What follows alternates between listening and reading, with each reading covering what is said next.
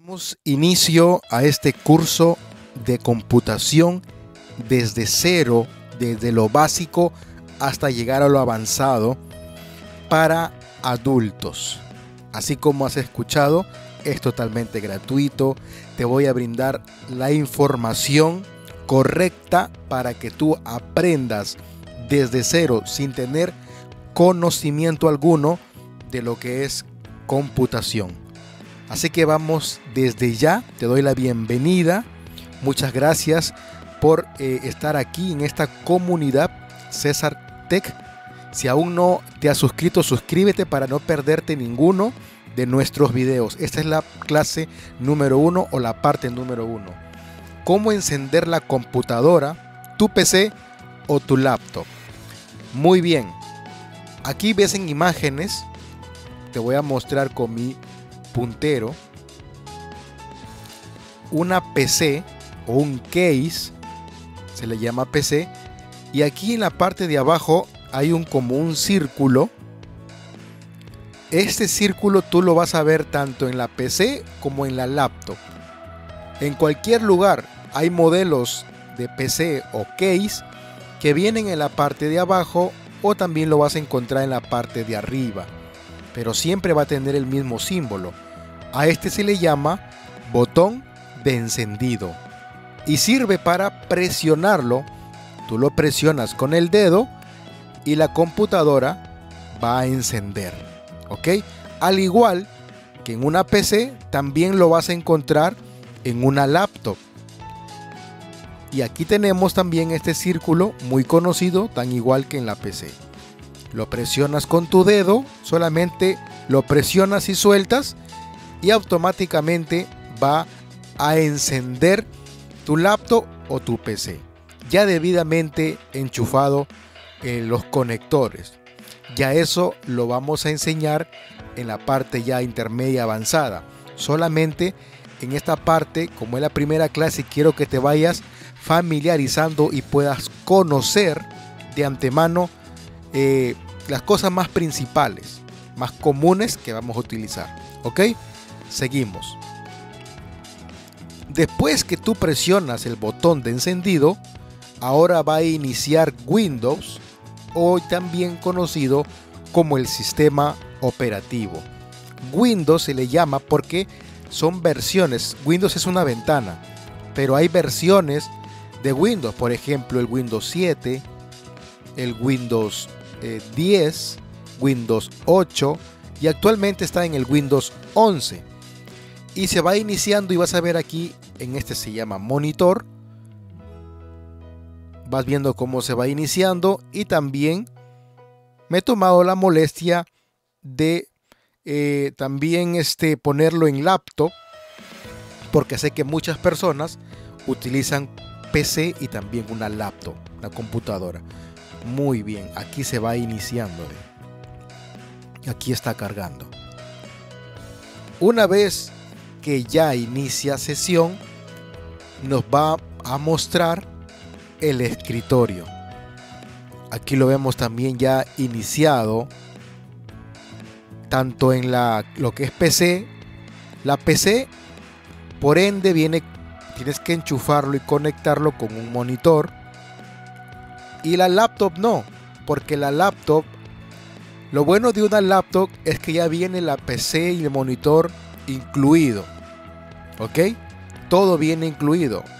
Aquí adentro viene todos los componentes necesarios para poder encender. A diferencia de una PC, solamente aquí se muestra el monitor y anteriormente tendrías que tener también tu PC, tu computadora. Muy bien. En el escritorio, aquí vamos a ver ya lo que son, por ejemplo, aquí donde muestro yo eh, el botón de, de también de lo que es de inicio, al igual también que lo que es en una laptop, también va a ser tan igual, lo vas a encontrar en los dos lados.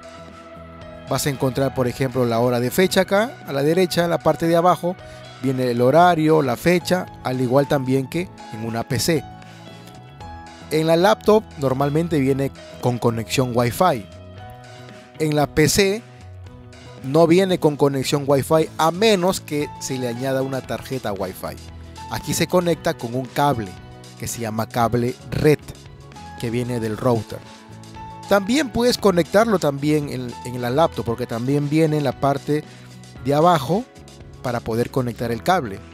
Pero la gente más lo utiliza con Wi-Fi. Viene también lo que es la carga de batería porque aquí tiene una batería.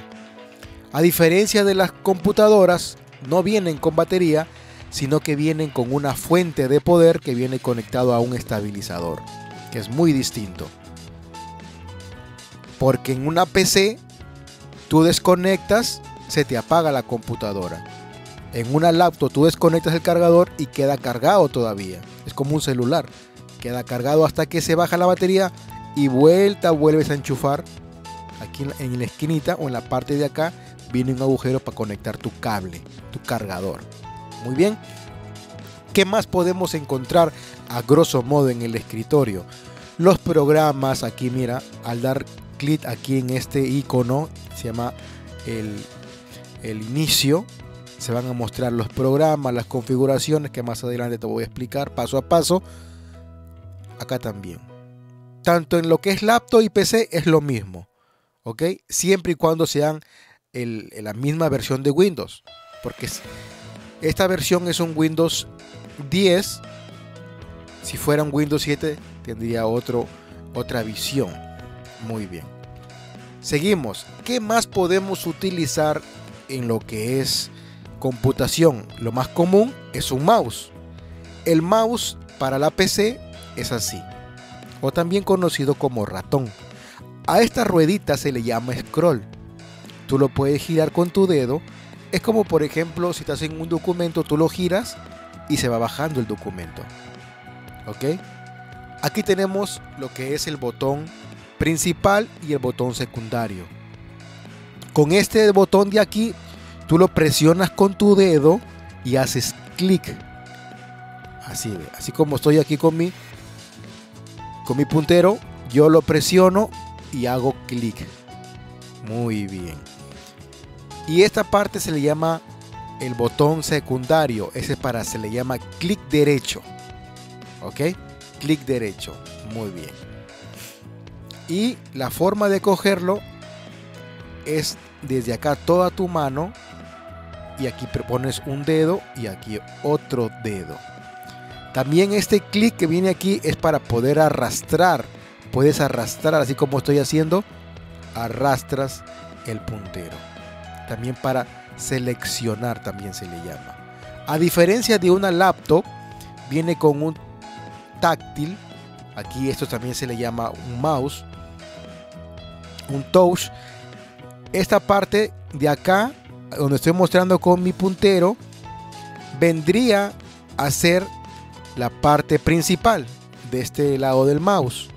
Y este lado vendría a ser la parte secundaria del mouse. Esta es la parte principal, la que hace clic.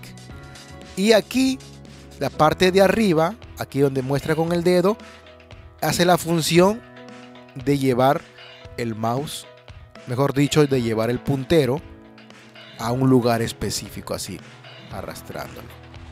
Y con la parte de abajo selecciona, haces clic. Muy bien, ese es en cuanto al mouse. Después también tenemos lo que es el teclado muy importante para poder escribir y tienen la misma función.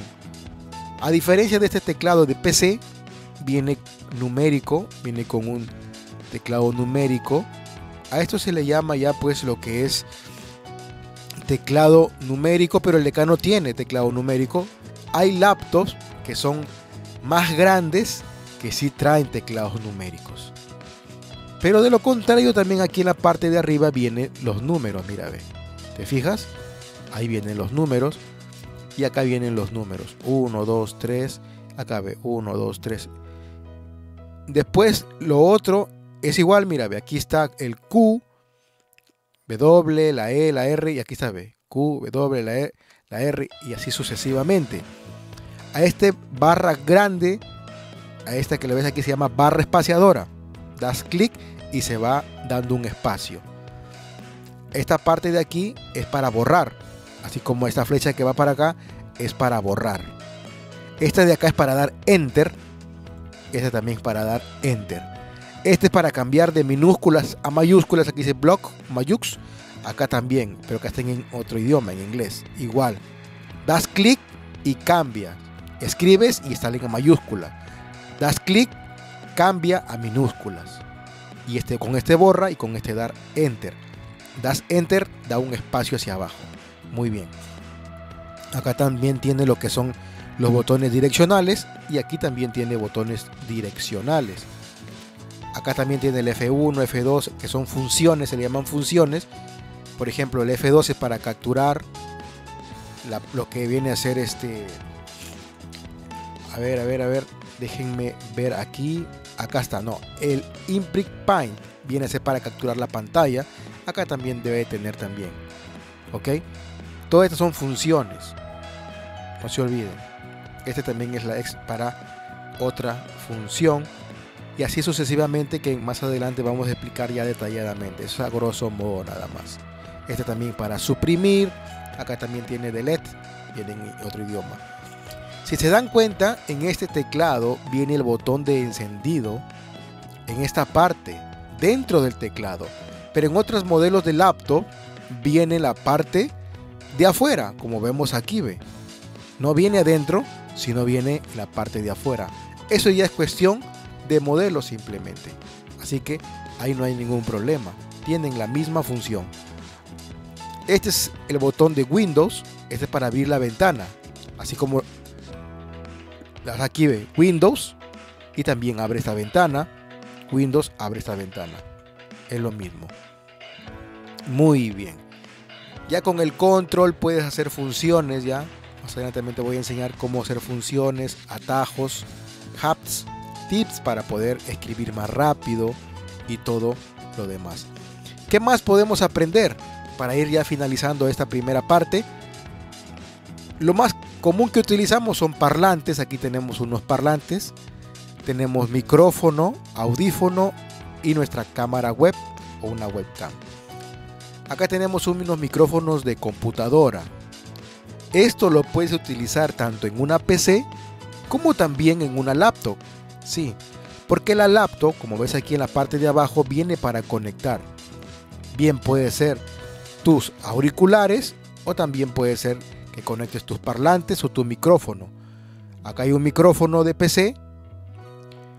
En las laptops vienen con micrófono ya, mira, ve, aquí en la parte de este lado viene un micrófono con este puntito, a este le llama micrófono. Y esta parte del círculo es una cámara web de una laptop. Viene la parte de arriba, arriba de la pantalla. Y en la de computadora es esta webcam, ¿no? Las comunes, muy bien. Que se ponen ahí donde tú quieras para poder grabarte y todo lo demás. Y aquí tenemos unos audífonos que también los puedes tanto utilizar en una computadora, una PC, o también lo puedes conectar con cable a una laptop. Aquí mira, aquí viene el modelo de un audífono, lo pones aquí, lo enchufas a este lado y este viene a ser el micrófono. Coges el micrófono de PC y lo colocas acá si no quieres utilizar este micrófono pequeño. Muy bien, espero que eh, te haya gustado eh, esta enseñanza. Vamos a ir paso a paso, ir conociendo y familiarizándonos sobre todo acerca de los componentes periféricos eh, también lo que es este teclado, hemos visto el mouse, hemos conocido ya un poco lo que es el escritorio, después vamos a ir paso a paso más profundo ya. También lo que es el inicio de un Windows, las versiones de los Windows y cómo encender nuestra PC y también nuestra laptop. Aquí para terminar, ya para ir terminando, si te das cuenta, en este case viene también en la parte frontal, se le llama la parte frontal delantera, para poder también conectar, así como en la laptop, puedes conectar aquí o también en la parte de atrás también vienen dos agujeritos, tres agujeritos para conectar lo que es el audífono, para conectar lo que es el micrófono y aquí tiene para conectar lo que es cables USB o también un USB de almacenamiento. Aquí puedes conectar lo que es un mouse con USB o también puedes conectar un teclado con USB. ¿Ok? tan igual como en una laptop también tienen conectores USB. También lo puedes conectar si no quisieras utilizar el touch este de aquí que es muchas veces para las personas adultas se dificultan. Por eso utilizan este mouse. También este mouse lo puedes utilizar conectándolo en una parte de la laptop. Aquí una parte, también así como así, pero más que, que sea USB. Lo conectas y también puedes utilizar tu mouse en vez del touchpad. ¿Ok? Bueno, espero que esta clase te haya gustado. Si fue así, manito arriba, suscríbete y así nos estarás ayudando a seguir creciendo en esta comunidad. Nos vemos en un próximo video. Chao, chao. Muy buenas noches con todos. Estamos aquí en una siguiente clase, esta clase número 2, de cómo aprender computación para personas adultas que no tienen conocimiento de lo que es computación. Y el día de hoy te quiero enseñar acerca de lo que es el mouse. También aquí ves en un círculo donde te estoy mostrando un mouse en vivo y en directo para que te pueda enseñar cómo debes coger el mouse, cómo debes darle un clic, un clic derecho, qué es el scroll, cómo arrastrar y todo eso. Así que quédate hasta el final. Y si aún no eres parte de esta comunidad, te invito a que te suscribas para ser parte y no te pierdas ninguna de estas clases y así juntos podamos aprender mucho más acerca de computación. Primero, ¿qué es el mouse? Nos dice que es la principal herramienta de trabajo en el entorno gráfico de Windows. El mouse permite desplazar el puntero en la pantalla. El puntero es el rastro electrónico que aparece en el monitor de la computadora y que obedece a los movimientos del mouse. Sirve para señalar o apuntar áreas en la pantalla. Aquí tenemos nuestro mouse. Lo vamos a coger así, colocamos nuestra mano. Es como abrazar el mouse. ¿Ok? Y aquí estas dos, estos dos dedos son los que vamos a utilizar. Este dedo es para utilizar en el botón principal y este dedo es para utilizarlo en el botón secundario. En la parte de en medio, en algunos mouse viene con una ruedita que se le llama scroll. ¿Para qué sirve? Para poder deslizar a una nueva página. Muy bien. Ahora abrazamos el mouse aquí tenemos nuestro botón principal, así como ves también en imágenes o aquí. Y este dedo lo vamos a utilizar en el botón secundario. Los botones del mouse nos permiten trabajar, dice, con dos botones, el principal y el secundario.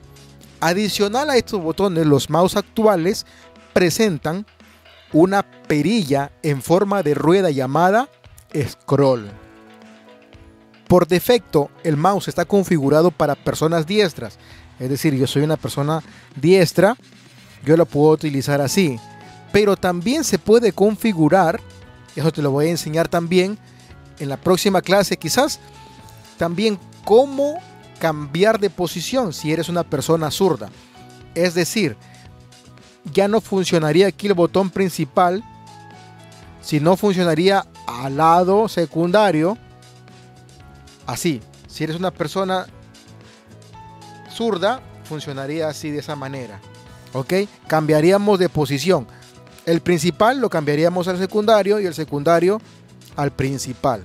Pero si eres diestro, lo puedes dejar ahí. No tienes ningún problema. Dice Kibe, por defecto el mouse está configurado para personas diestras. El botón izquierdo, este, como principal y el botón derecho como secundario. Situación que se puede cambiar en el panel de control para personas zurdas. Habíamos dicho que el botón derecho como principal y el botón izquierdo como secundario. Muy bien.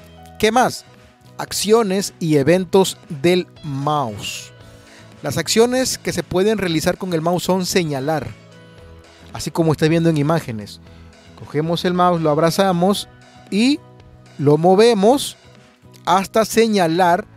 Puede ser un icono o cualquier programa. Dice que señalar es la acción que se realiza al desplazar el puntero. El puntero viene a ser esta flechita que tú estás viendo que va corriendo. A eso se le llama puntero del mouse y ubicarlo sobre un determinado elemento o zona de la pantalla. Por lo general se muestra un comentario. Yo, al señalar, por ejemplo, este icono que dice equipo, me va a aparecer un mensaje que dice muestra las unidades de disco y hardware conectado a este equipo. Y si yo señalo un programa, igual. Solamente lo pones encima nada más. A eso se le llama señalar. Lo colocas encima nada más. ¿Ok? Y te va a aparecer también un mensaje. Ubicación de Photoshop y dónde está instalado. A esto se le llama, a esta acción, señalar. Muy bien. Seguimos. Después tenemos la otra acción que se llama clic. Es la acción que se realiza para presionar una sola vez el botón izquierdo. Este es el botón izquierdo. Muy bien. Y esta acción por lo general se utiliza para seleccionar, ubicar el cursor en un documento. Elementos los cuales se manifiestan al mostrar los sombreados. También puede ser aquí en el escritorio, yo lo pongo, lo señalo, hago clic y también me va a aparecer un mensaje como papelera de reciclaje. Pero si estuviéramos en Word, o en cualquier archivo, documento, damos clic y hay un cursor que eh, va, aparece y desaparece. Después te voy a mostrar en, Word, donde nosotros hacemos esa función de, eh, de clic y nos va a aparecer el cursor. Ahora, doble clic. ¿A qué se refiere doble clic? Simple. Doble clic viene a ser la acción de presionar dos veces el botón izquierdo. Seguidamente presionamos dos veces y esta acción, al presionarla dos veces, nos va a ejecutar algún programa, archivo o aplicación. Yo abrazo el mouse, lo arrastro hacia el programa o icono, doy doble clic, presiono dos veces y esto va a permitir que me va a abrir ese programa, así como ves en pantalla. Aquí en equipo damos doble clic y nos aparece las unidades de nuestro disco duro y nos aparece algunas carpetas. Muy bien. Clic derecho o clic con el botón secundario. Habíamos dicho que este era el botón principal y este el botón secundario. Muy bien. Por lo general es para mostrar un menú contextual donde se visualizará las acciones que el usuario podrá realizar. Ya no me lo va a abrir el programa, sino que ya no voy a presionar aquí este clic ni doble clic, no, sino voy a utilizar el botón secundario. Doy clic con el botón secundario en este icono y me va a abrir una ventanita pequeña llamada menú contextual donde dice abrir, administrar, eliminar, cambiar nombre, propiedades. Al igual también cuando utilizamos algún programa como este PDF, no lo va a abrir, sino que nos va a desplegar un menú contextual con diferentes opciones que podemos utilizar. Muy bien, espero que hasta ahí vayamos eh, bien. Habíamos dicho que este era el botón principal y este el botón secundario. Este sirve para dar doble clic y abrir programas, también para seleccionar y este para que se abra el menú contextual del programa. Muy bien, ahora también podemos utilizar el arrastre. El arrastre es la acción que se realiza al ubicar el puntero sobre un elemento seleccionado como icono, programa, archivo, texto, etc. Al pulsar el botón izquierdo, este presionarlo, presiono el programa con este con el clic aquí con este botón principal, lo que hago es darle clic, pero no lo voy a soltar. Lo voy a arrastrar, lo voy a llevar a donde yo quiera. Lo dejo y suelto. Y el programa se habrá arrastrado. Esa es, esa es la acción de arrastrar un programa, un icono en nuestra pantalla, en nuestro escritorio. Bueno, espero que este, esta clase, la clase número 2 del mouse, te haya gustado. Si fue así, manito arriba. Eh, también te voy a enseñar para la siguiente clase cómo podemos configurar en nuestro panel también diferentes punteros diferentes eh, cursores también Todo eso te lo voy a enseñar en la clase número 3. Así que atento y conmigo será hasta una nueva clase. Chao, chao. Estamos aquí en nuestro escritorio y queremos hacer la prueba de cómo funciona nuestro mouse y también cómo podemos configurarlo, porque hay muchas cosas interesantes. Veamos, aquí tenemos unos iconos, para empezar, en nuestro escritorio, que no están ordenados. Tú lo puedes ordenar automáticamente dándole clic derecho, ¿ok? O clic secundario, como habíamos enseñado. En el escritorio, arrastramos el puntero, esta es la opción arrastrar. Y aquí donde dice organizar iconos automáticamente, te vas a dar cuenta que los iconos se acomodaron. ¿Y sabes cuál es el detalle? Que cuando tú quieres darle clic y arrastrar, no soltamos el botón principal, no lo soltamos. ¿Sabes qué es lo que sucede? Se regresa de nuevo. No va a poder arrastrarse, a menos, veamos, clic secundario o clic derecho, le quitamos el check a organizar iconos automático y ahora si podemos arrastrar donde nosotros queramos cualquier icono, podemos cambiarlo de posición, podemos ponerlo este,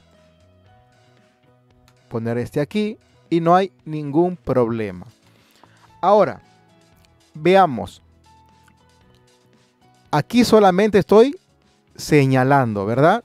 Y ahí nos dice, muestra las unidades de disco y hardware conectado a este equipo. Ahora, si yo hago clic derecho, me aparece lo que es el menú contextual que habíamos visto eh, en la enseñanza. ¿Ok? Ahí está. Ahora, si yo doy doble clic, ¿qué es lo que sucede? Nos abre el panel, ¿ok? Esta ventana de equipo.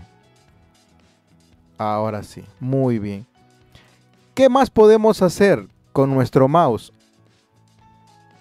Ya habíamos dicho que esta flechita se llama puntero, ¿ok? Recuérdenlo. Vamos a darle clic aquí donde dice configuración, dispositivos, ahí dice Bluetooth, impresoras y mouse. Damos clic principal. Nos vamos acá también donde dice mouse, damos clic. Cuando digo clic se refiere a clic principal, ¿ok? Cuando digo clic derecho es el botón eh, secundario. Muy bien.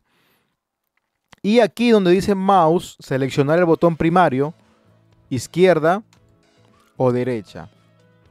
Aquí, si yo le cambio, va a cambiar el botón principal, pasaría a botón secundario y el botón secundario pasaría a botón principal. Cambiaríamos. También aquí nos dice que la velocidad del del cursor. Te das cuenta que el puntero se va más rápido. Y si lo reducimos toda la velocidad, nos damos cuenta, mira, ahí estoy moviéndolo rápido, mi mouse, pero se va muy lento, muy, muy, muy lento. Muy lento. Así que lo que vamos a hacer es dejarlo donde estaba en el 12. Ahí, muy bien. ¿Qué más podemos hacer? Vamos a ver acá. Ajustar el mouse y el tamaño del cursor. Aquí también podemos agrandar nuestro cursor. Aquí. O el puntero. También podemos ponerle un color. Damos clic. Cambia. Cambia de color al color que tú quieras. Vamos a reducir nuestro puntero.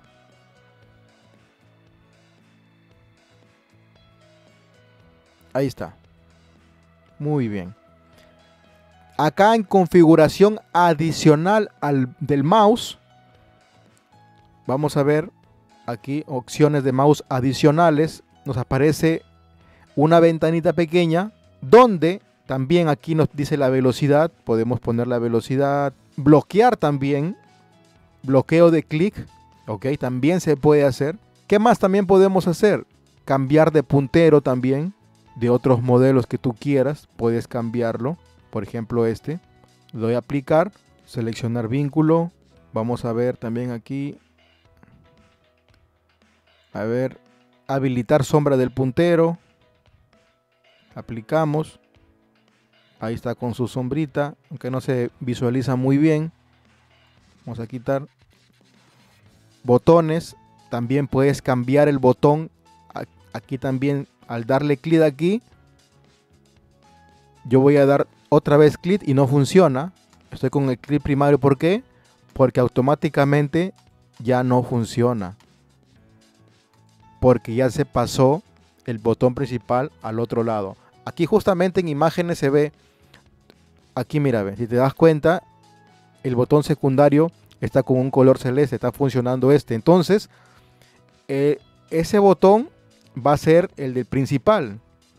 Por eso es que al momento de darle clic, yo voy a darle clic con ese, con ese justamente. Y ahora sí me funciona y pasó para el otro lado. Opciones de punteros también. También mostrar rastro de puntero. Mira, ve. Aquí está, ve. Puedes hacer el rastro también de puntero. Muy bien. Y muchas cosas más. Bueno, espero que este video te haya gustado, te haya servido. Si fue así, no olvides suscribirte y activar la campanita y nos vemos en un próximo video. Chao, chao. Hola con todos, ¿cómo están? Muy buenos días todavía. En el momento que me estés viendo, estamos ya en otra clase de computación para personas adultas que no tienen conocimiento, que no saben lo que es computación. Bueno, en esta comunidad, en este canal te voy a enseñar paso a paso. Ya hemos aprendido en los videos anteriores acerca del mouse. Vamos a aprender ahora acerca de lo que es el teclado, sus funciones y cómo puedes utilizarlo correctamente para poder escribir en cualquier documento que tú quieras. Es por eso que me he tomado la molestia de partir la pantalla. La parte de arriba vas a ver tú lo que es un documento en Word en blanco y en la parte de abajo vas a ver un teclado, ¿ok? Lo estamos grabando en vivo para hacer el ejemplo y tú lo puedas también ver. Este teclado es un teclado numérico, ¿por qué? Porque en la parte derecha vienen los números, vienen los numerales, 1, 2, 3, hasta llegar al 9, pero también en esta parte también vienen números. Adicionalmente a esto se le llama teclado numérico. Si, si, quitamos el teclado numérico sería un teclado normal, estándar. Hay también teclados multimedia que en la parte de arriba del teclado vienen como por ejemplo subir volumen, bajar volumen, a eso se le llama teclado ya este multimedia. Muy bien. ¿Qué funciones podemos utilizar o cómo podemos escribir en un teclado? Lo normal es que nosotros ocupemos todos nuestros dedos en el teclado para poder escribir. Así. Es por eso que te recomendaría que hagas este ejercicio para poder escribir correctamente. Si eres principiante, lo lógico es que escribas así, con estos dos dedos. Hola. Así, no hay ningún problema. Todos hemos empezado esta forma de escribir. Ya con el tiempo tú vas a poder escribir ya más rápido, hola, ¿cómo estás? Así sucesivamente, lo más rápido posible. Pero lo importante es de que ocupes todos los dedos y para poder, por ejemplo, utilizarlo, la forma correcta sería así, en esta parte, con este dedo gordo en la barra espaciadora y este aquí con este dedo meñique ocupando lo que es el enter, el intro. Y este ocuparía también lo que es para borrar y los números y así sucesivamente se comparten todos los dedos. ¿Ok? Muy bien. Ahora, algunas funciones que tiene el teclado para poder hacer un documento o escribir algo. Vamos a empezar con los números. Habíamos dicho que en esta parte teníamos todos nuestros números hasta el 0. Esta es la tecla para borrar que viene una flecha para la izquierda. Borramos. Pero también utilizamos esta parte derecha donde están también los números, pero aquí viene una tecla que dice block. Este es para bloquear, por ejemplo. Yo voy a dar y no aparece nada en el documento. Lo activo, va a aparecer una luz verde. Ahora utilizo y ya me aparecen los números. Voy a borrar. Ahí está. ¿Qué más podemos aprender? Si te das cuenta también que en los números vienen unos signos en la parte de arriba o aquí al costadito, por ejemplo el 2. Vamos a utilizar el 2. Por ejemplo, el 2 en la parte de arriba vienen con dos comillas y al costado viene un arroba. ¿Cómo podemos utilizarlo? Utilizamos la tecla 2, me aparece el 2. Pero para que me aparezca la parte de las comillas, voy a utilizar otra función juntamente con el 2. Voy a utilizar esta tecla que se llama Shift. Presiono con el 2 y ahora ya me aparecen las comillas. Muy bien. Borramos. Y para que me aparezca el arroba, voy a utilizar otra tecla que se llama Alt con GR. Damos aquí, presionamos con el 2 y ahora ya nos aparece el arroba. Hay otras funciones también para que nos pueda aparecer el arroba. Por ejemplo, este es un hub, ya un tip.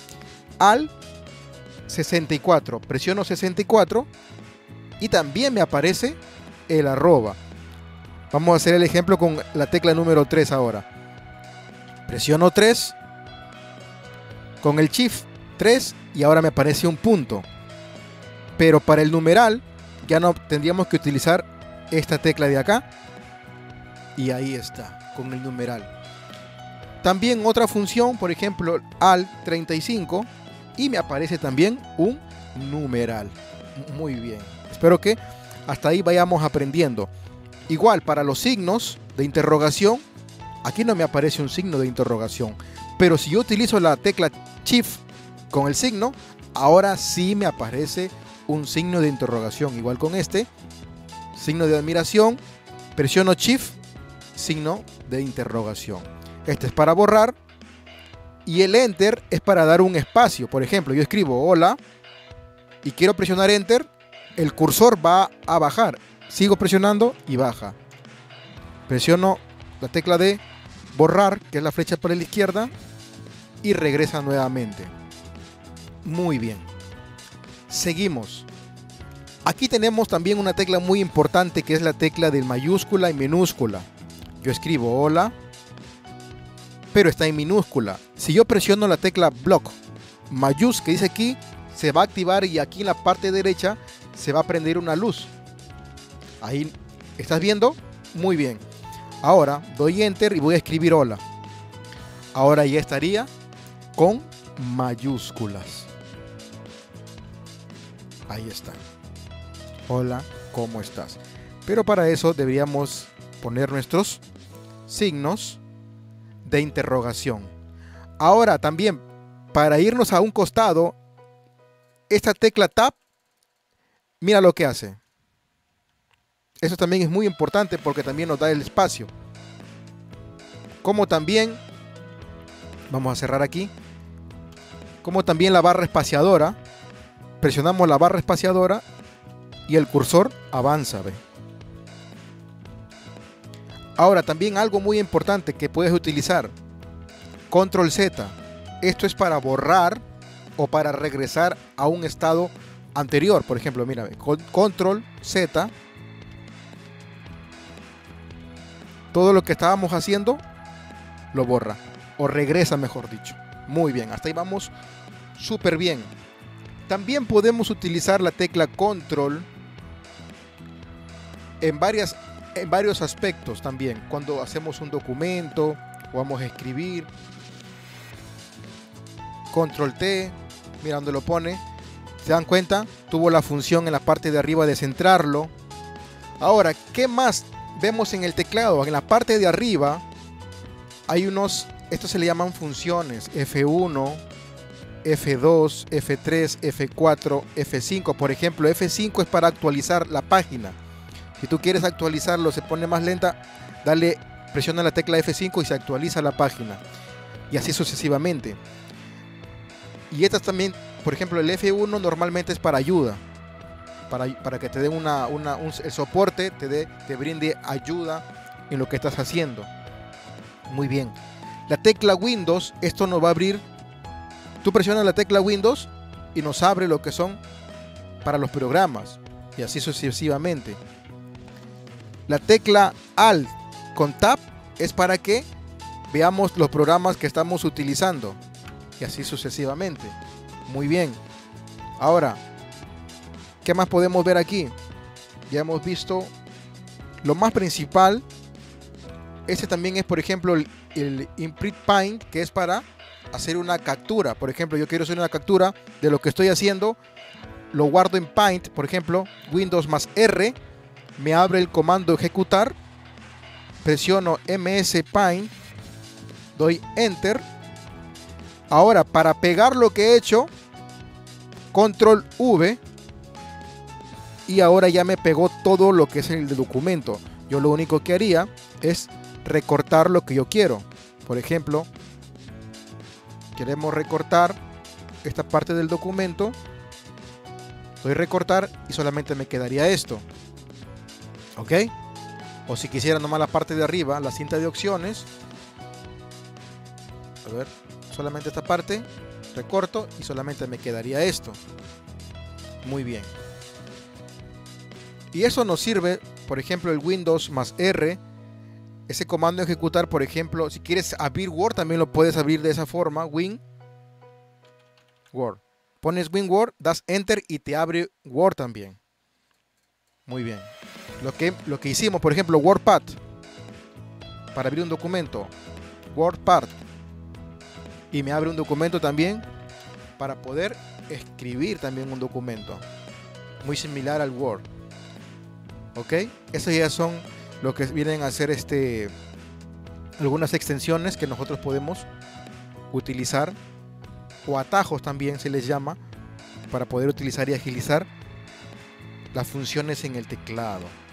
Ahora la tecla suprimir es para eliminar también. Puedes eliminar la con la tecla suprimir. También se elimina. Ahora para poder, por ejemplo, hola, ¿cómo estás? Espero te encuentres bien.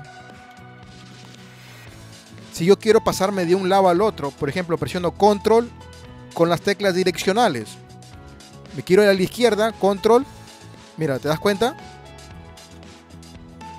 En cada párrafo avanza. Y así sucesivamente también con la parte derecha. Mira, ve. A diferencia que solamente lo, haría solo con la direccional, avanzaría de letra en letra. Pero con el control agregado, avanza de texto en texto. Muy bien. Y aquí tenemos también, esta función de intro también hace de enter. Mira, ve, enter. Aquí tenemos también el signo más. Acá también hay otros signos que podemos utilizar. Vamos a ver. Por ejemplo, Shift soltamos, ahí nos aparece esta parte de arriba. Pero si presionamos Alt, aquí nos aparece el corchete. Muy bien. Ahora presionamos esta, tecla sola, nos aparece el signo más. Con el Shift me tendría que aparecer el asterisco. Ahí está, muy bien. Y con esta tecla de abajo me tendría que aparecer el corchete. A ver. Ahí está. Muy bien. Cerramos. Borramos, mejor dicho. Y ahí está y así sucesivamente. Ya sabemos algunas eh, partes básicas de lo que es el teclado. Muy importante, ocupar todo el teclado para poder escribir y con el dedo gordo es para la barra espaciadora y aquí para presionar enter y borrar. Bueno, espero que este video haya sido útil para ustedes. Yo lo hago con mucho cariño y juntos podamos seguir aprendiendo eh, si aún no eres parte de la comunidad, te invito a que te suscribas, que compartas todos los videos que estamos realizando, porque sé que muchas personas eh, necesitan aprender de computación, porque ya que vivimos en, una, en un tiempo, en una época donde todo es tecnología. Y bueno, conmigo será hasta un próximo video. Chao, chao. Identificar partes de una computadora. Aquí tenemos lo que se llama un case. ¿Ok? Esto es un cascarón. Le llaman también torre. Dentro de esto viene lo que es los componentes del CPU, que viene la placa eh, o la mainboard que se llama. Todos los componentes están adentro. Pero vamos en conjunto. Eso también lo he explicado en los videos, pero aquí solamente vamos a llamarle como le llamaría cualquier persona que te preguntara, ¿qué CPU tienes? Esto se le llama CPU. Así, CPU. Alcánzame el CPU, vas a escuchar, o qué CPU tienes. Eso del CPU son gamas. Tú puedes responder cuando ya conozcas un poco más, tengo una Core i5, un Core i3, un Core i7, que es en gama Intel, o puede ser en AMD. También vienen eh, características del CPU. Pero en conjunto, todo esto se llama CPU. Apúntalo. Todo esto se le llama CPU. Y a esto que ves aquí, a esta pantalla se le llama monitor. A esto se le llama monitor. Todo lo que opera aquí se va a ver aquí en el monitor. Vienen con unos cables conectados. También en los videos, por eso es muy importante que mires los videos, las clases, para que veas que también te enseñó dónde van conectados. A esto se le llama monitor. Aquí es donde todo se ve lo que realiza el CPU. Esto que está aquí abajo se le llama teclado. Aquí es donde uno escribe. Muy bien. Esto se le llama teclado. Y a esto que está aquí abajo se le llama ratón o mouse. Con esto, el mouse. Mira, justamente yo con mi mouse estoy moviendo el puntero. A esto que ves aquí que se mueve se llama puntero. Muy bien. Aquí tenemos una cámara. Cámara web. Ahí está. Esta es una cámara web. Esto nos sirve para poder hacer un tipo de grabación. ¿Ok? Podemos hacer por Zoom, por diferentes plataformas cuando queremos grabarnos para una presentación. Aquí tenemos también lo que se le llama parlantes. Parlantes. Esto nos sirve para poder escuchar justamente y esto va conectado al CPU. Muy bien. ¿Esto cómo se llama? Esto se le llama impresora. ¿Para qué sirve la impresora? Para justamente imprimir hojas. Esto también va conectado al CPU. En realidad todo va conectado al CPU. Este es el cerebro. ¿Ok? Y aquí tú puedes imprimir, depende del modelo también de la impresora. Aquí he puesto una Epson, pero también hay otras marcas como Brother o también como HP y otras más. Y también existen impresoras multifuncionales donde imprimen, sacan copia y también lo que hacen es escanear. Son multifuncionales. Y aquí abajo tenemos lo que es una laptop. Esta laptop en realidad hace todo esto. Esto el CPU tiene un teclado, un mouse, parlantes, cámara, monitor, y el CPU, todo esto está incluido aquí adentro. ¿Por qué? Porque lo del monitor, y aquí ya viene su pantalla. Lo de la cámara, también aquí tiene un puntito, que es la cámara integrada. Y el teclado, ya viene también aquí el teclado en la laptop. El mouse, también viene un táctil aquí, que con tu dedo nada más lo mueves y estarías moviendo tu puntero. ¿Ok? También vienen parlantes también ya integrados en la laptop para poder escuchar y también el micrófono también integrado. Es decir, todo esto ya viene incluido en una laptop. Esto te lo ¿Para qué te sirve la laptop? Te lo puedes llevar a cualquier lado. Con tu cargador te lo llevas a cualquier sitio, es mucho más fácil. A diferencia de un CPU de escritorio que es estático, tienes que tenerlo ahí justamente en tu escritorio. pero la laptop tú la puedes llevar al colegio, a la universidad, instituto, donde tú quieras. Ahora, ¿tú qué me recomiendas? ¿Un CPU o una laptop? Depende. Si tienes, eres un profesor, no vas a utilizar mucha memoria, mucho gráfico, simplemente te recomendaría una laptop. Pero si eres una persona que se va a dedicar, por ejemplo, a gráficos, a cosas que son muy pesadas, te recomendaría un CPU. Y tiene que ser adecuado con las características justamente para eso. Ahora, esta flecha me apunta aquí esta parte. Esto se le llama lectora. También, también las laptops también vienen con su lectora ya incluida. Algunas, otras no.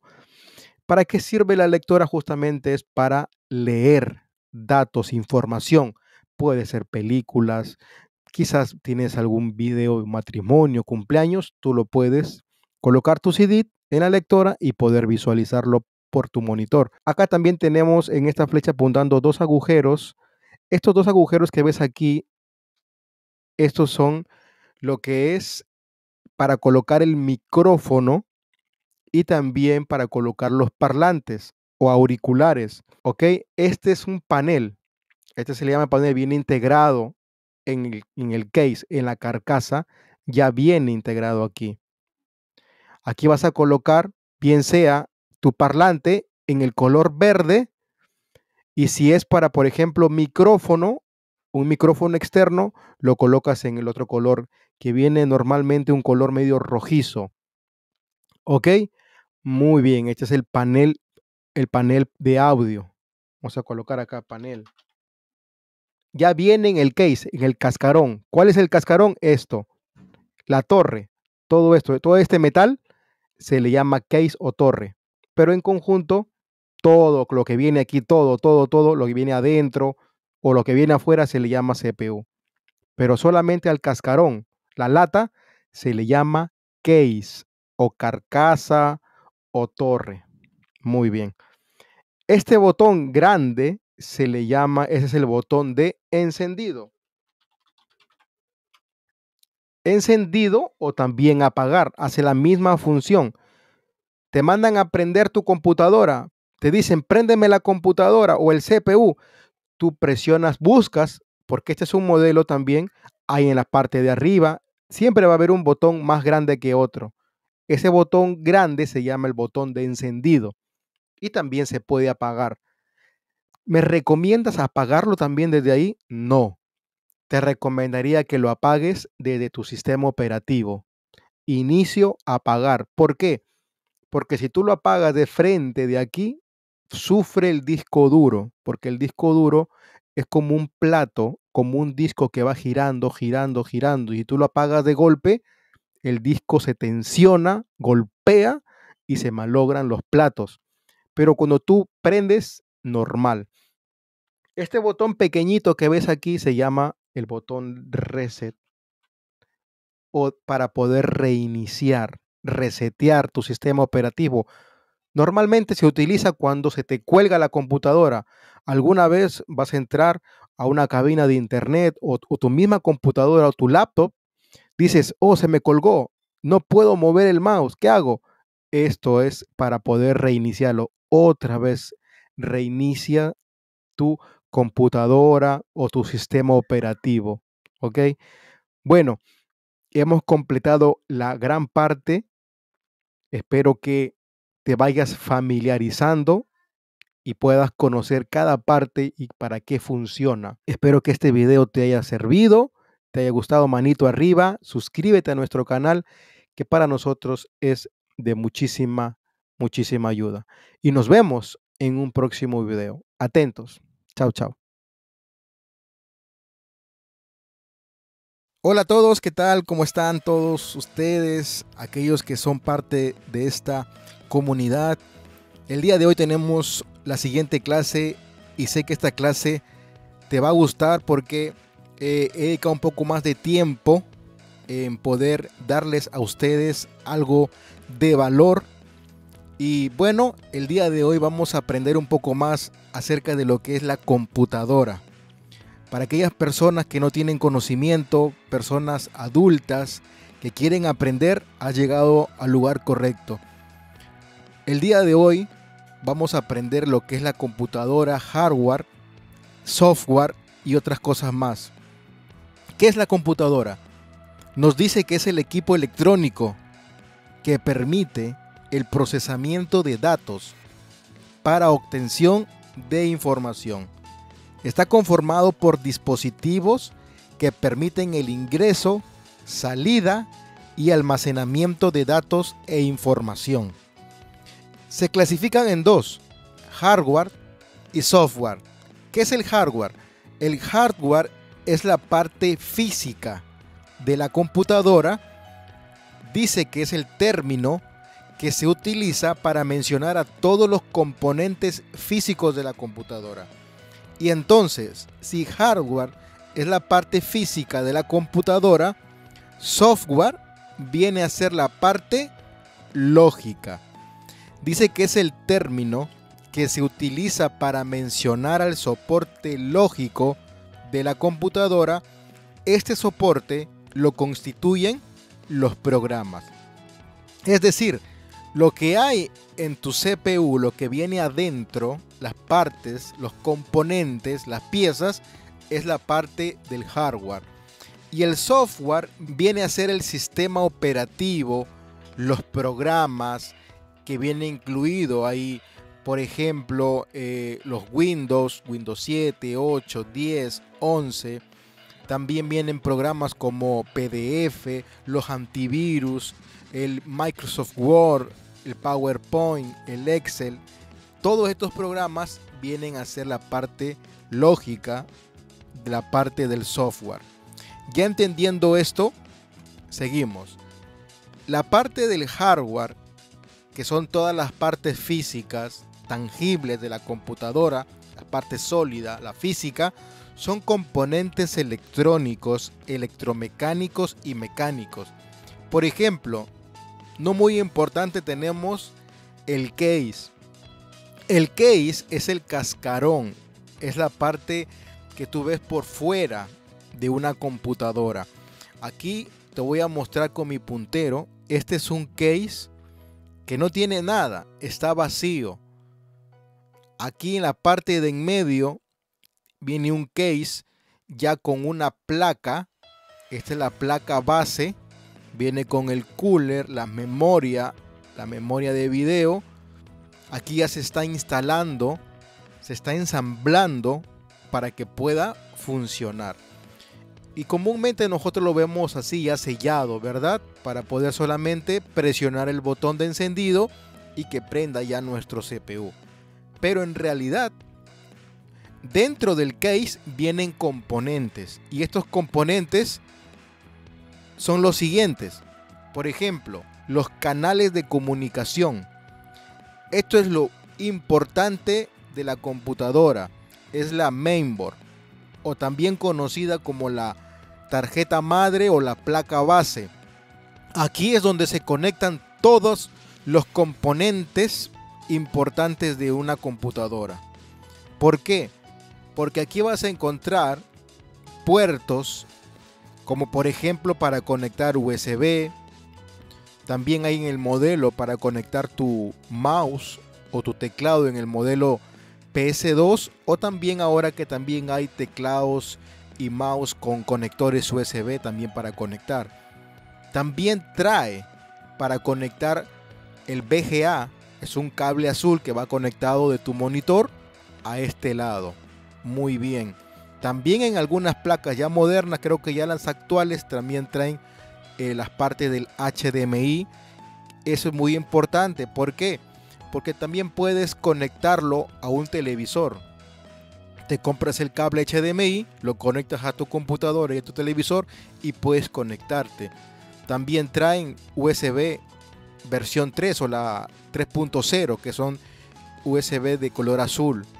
También lo que traen son conectores para conectar tu cable de internet.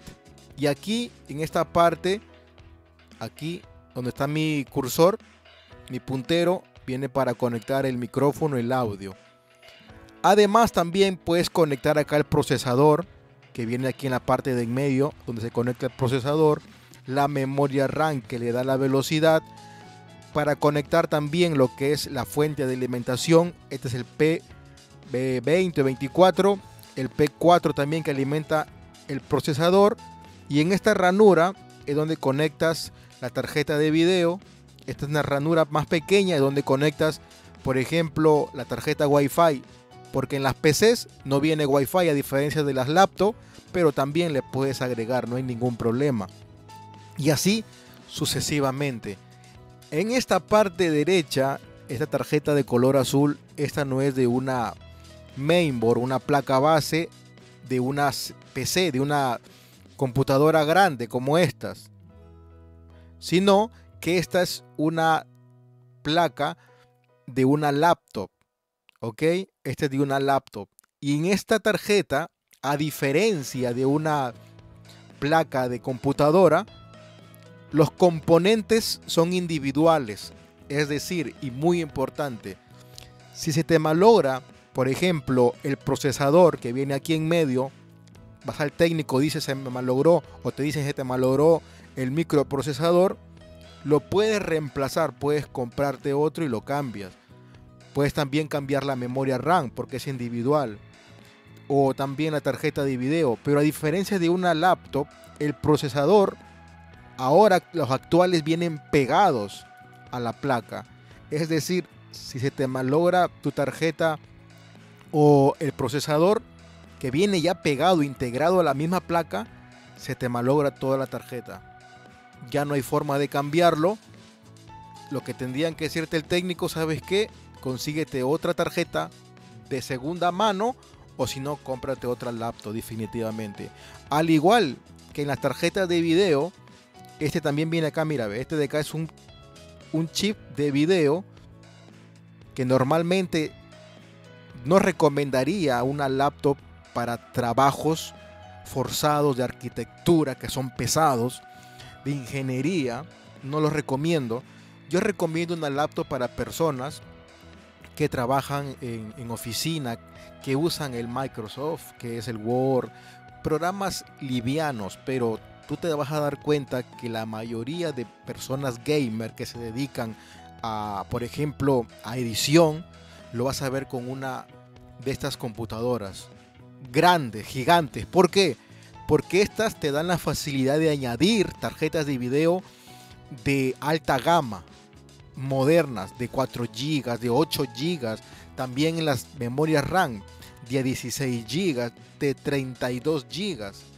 ¿Te das cuenta? Entonces va a ser una super computadora que te va a permitir, eh, por ejemplo, personas que se dedican a los juegos online, que son muy pesados, lo corren fácilmente. Pero si eres una persona que solamente trabaja con PDF, con Word, programas livianos, normal te puedes comprar una, una laptop. Seguimos.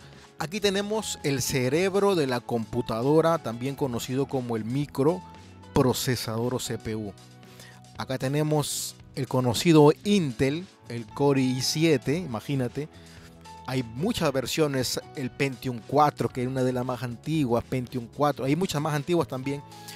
Pentium 4, después está el Dual Core, el Core 2 Duo, después salió el, Core i3, Core i5, Core i7, y así la tecnología va en aumento. Este es en el modelo Intel y este es también en el modelo AMD. A diferencia de los dos, el AMD, que también es el procesador, también vienen versiones similares, ojo, vienen con pines para conectar a la placa. El de acá viene con chip, son puntitos nada más. En la parte de atrás de este chip vienen puntitos o circuitos. A diferencia del AMD, vienen eh, lo que son este, puntas para poder conectarlo hacia adentro. Y acá a la izquierda tenemos lo que es el microprocesador de una laptop antiguo. Este es antiguo que también se podía cambiar. Este sí se salía. Acá con un desarmador girabas y se levantaba. Estos procesadores sí se cambiaban, pero ya no hay. Los modernos son más desechables. Eso le conviene a la fábrica, a los que los venden. ¿Por qué? se quema, se malogra, cambias nada más. Pero esto es antiguo. Me imagino que alguno debe tener, lo podías sacar el procesador y, conseguirte uno por ahí de segunda mano y cambiarlo y seguir para adelante. Ah, En la parte de abajo vienen unas ranuras verdes que te das cuenta. Esta es la memoria RAM. A diferencia de la memoria RAM de un CPU que es más grande, estas son más pequeñas. Seguimos. Eh, la memoria RAM, la ROM o la caché, esta se encarga de darle velocidad a tu computadora. Ojo, hay... eh, esto es muy importante. Hay ventajas y desventajas. Por ejemplo, si eres una persona que utiliza una laptop, tú te la puedes llevar donde tú quieras. A tu trabajo, a tu escuela. Eso es una ventaja. En cambio, una, un CPU de escritorio lo tienes que conectar ahí en tu oficina y no lo vas a sacar. No lo vas a mover. Esa es una ventaja y desventaja también. Acá en la parte izquierda vemos una tarjeta, una ranura de color verde con unos ahí en la parte de abajo de color amarillo, esos son los chips que se conectan en esta ranura de CPU en la placa. A este lado va el procesador. Aquí donde está mi puntero, ahí es donde se conecta esto, el procesador. Bueno, y esto viene a ser la tarjeta memoria RAM o la memoria principal, la que le da velocidad. Se encarga de darle velocidad a tu computadora. Y esta memoria RAM también, que es más pequeña, viene a ser la memoria RAM de una laptop. Esto de acá, que ves aquí, como una bolita, esto es el ventilador, lo que le permite refrigerar los componentes de la placa, todos los componentes. Ahora es muy importante, si tú tienes una laptop, darle mantenimiento, porque en esta parte se llena de pelusas. Te recomiendo no lo pongas en tu cama, porque ahí es donde más absorbe pelusa y lo que hace es ahogarse, porque ya no ventila, ya no hay desfogue y entonces se te apaga la computadora porque recalienta. A diferencia del CPU viene con un cooler que te voy a ir a mostrar en la parte final, viene con un cooler o disipadora. Hoy en día los modernos vienen con unos disipadores gigantes, que ya es cosa ya de, de, de la tecnología, ¿no? que ha avanzado tanto. Bueno, acá tenemos la parte del almacenamiento. También es muy importante porque estos se encargan de guardar todos nuestros datos, nuestros archivos, todo lo que hace o usa la CPU. Pueden ser internos como el disco duro, extraíbles como un CD. Acá en esta parte tenemos un disco duro de 4 GB, de 4, perdón, de 4 terabytes que vienen a ser 4000 GB, ¿ok? 4000 GB. Este es el disco duro. 4000 GB, 4 terabytes. Acá tenemos una memoria USB eh, de 32 GB. Es una memoria extraíble.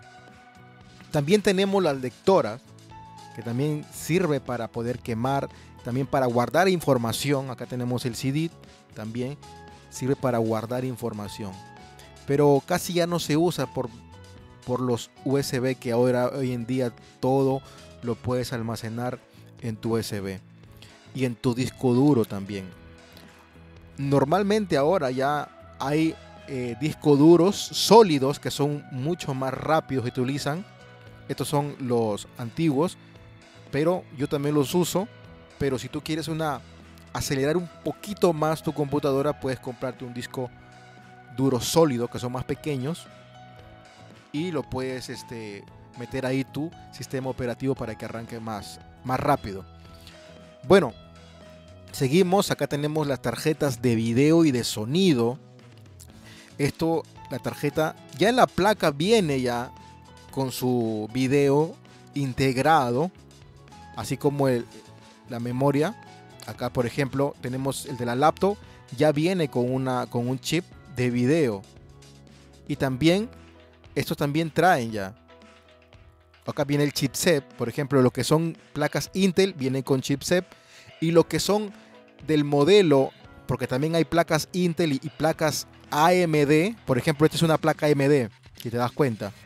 Estas vienen también aquí, mira, ve, vienen integradas ya con lo que es este la tarjeta de video. Aunque no tienen la tarjeta, pero ya vienen con un chip integrado. Los Intel viene con un chipset, así como este de acá, mira, esta es una Intel y esta parte es el chipset. Pero no va a ser, va a ser igual que una, que una AMD. La AMD ya viene integrada lo que es el video, pero también le puedes añadir, como por ejemplo esta tarjeta. Se le añaden tarjetas para que no se te cuelgue. Yo para, por ejemplo, hacer esta grabación en este momento, yo utilizo una tarjeta como estas, de 2 GB. O imagínate las personas que se dedican, los youtubers, las personas que se dedican a videojuegos, no utilizan de 2 GB, sino utilizan de más, de 4, de 6 GB. Y son unas tarjetas no de este tamaño, sino más grandes todavía. Y esta tarjeta ya no conectarías, por ejemplo, el cable azul en tu placa, si no lo conectarías aquí, mira, ve, en esta parte de y si tiene HDMI, también acá, ve, acá lo conectarías. Muy bien. Esta es la tarjeta de video. Y esta es la tarjeta también de sonido, como acá tienen sus huequitos para aquí conectas en el verde. Este también es muy importante para aquellas personas que se dedican a DJ, a hacer mezclas y todo lo demás. Bueno, seguimos. Muy importante, la fuente de alimentación. La fuente de alimentación es la encargada de suministrar energía eléctrica a los distintos elementos que componen nuestro sistema informático. La fuente de poder es la que está conectada al case, al cascarón. Viene puesta ahí y aquí en este, con este cable, este cable va conectado a la pared pero te recomendaría que te compres, si no tienes, un estabilizador. Muy importante. El estabilizador es muy importante porque va a regular tu energía que viene de la calle, que conectas a tu pared. ¿Ok? La fuente también se encarga de cambiar la energía porque entra entra a 220, 230 y lo cambia para el voltaje de 5 voltios, de 12 voltios entra. Entonces, es muy importante para que no, si la fuente se llega a malograr o está, no está en buen uso, lo que hace es afectar los integrados de la placa. Y aquí vienen sus conectores. Estos conectores van a la placa, van al disco duro, va este, a la lectora y así sucesivamente y aquí está para apagar, para prender. Aquí está también lo conectas con este cable y este es su ventilador. Muy bien. Ya sabemos que esta es la fuente de alimentación o fuente de poder también se le llama. Y aquí por último tenemos ya nuestro case. Aquí está, mira la flecha, el case, el cascarón, la carcasa también se le llama. En la parte de acá tenemos el disco duro. Aquí ya está ensamblado y ya está conectado, está funcionando tenemos el disco duro donde ahí se guarda nuestra información, ahí está el sistema operativo, ahí está todo lo que tú ves en el escritorio está ahí en el disco duro. Acá tenemos la memoria RAM también, acá están estas ranuras, este es un CPU moderno, es un gamer, vienen con luces, imagínate. Estas son las memorias RAM, las tarjetitas, son tarjetas, la que les da velocidad, ¿ok? Muy bien. Acá tenemos también nuestra fuente de alimentación, en la parte de abajo, aquí vienen los cables, aquí los cables vienen conectados a la, a la placa, vienen conectados al disco duro, vienen conectados acá también, ¿ve?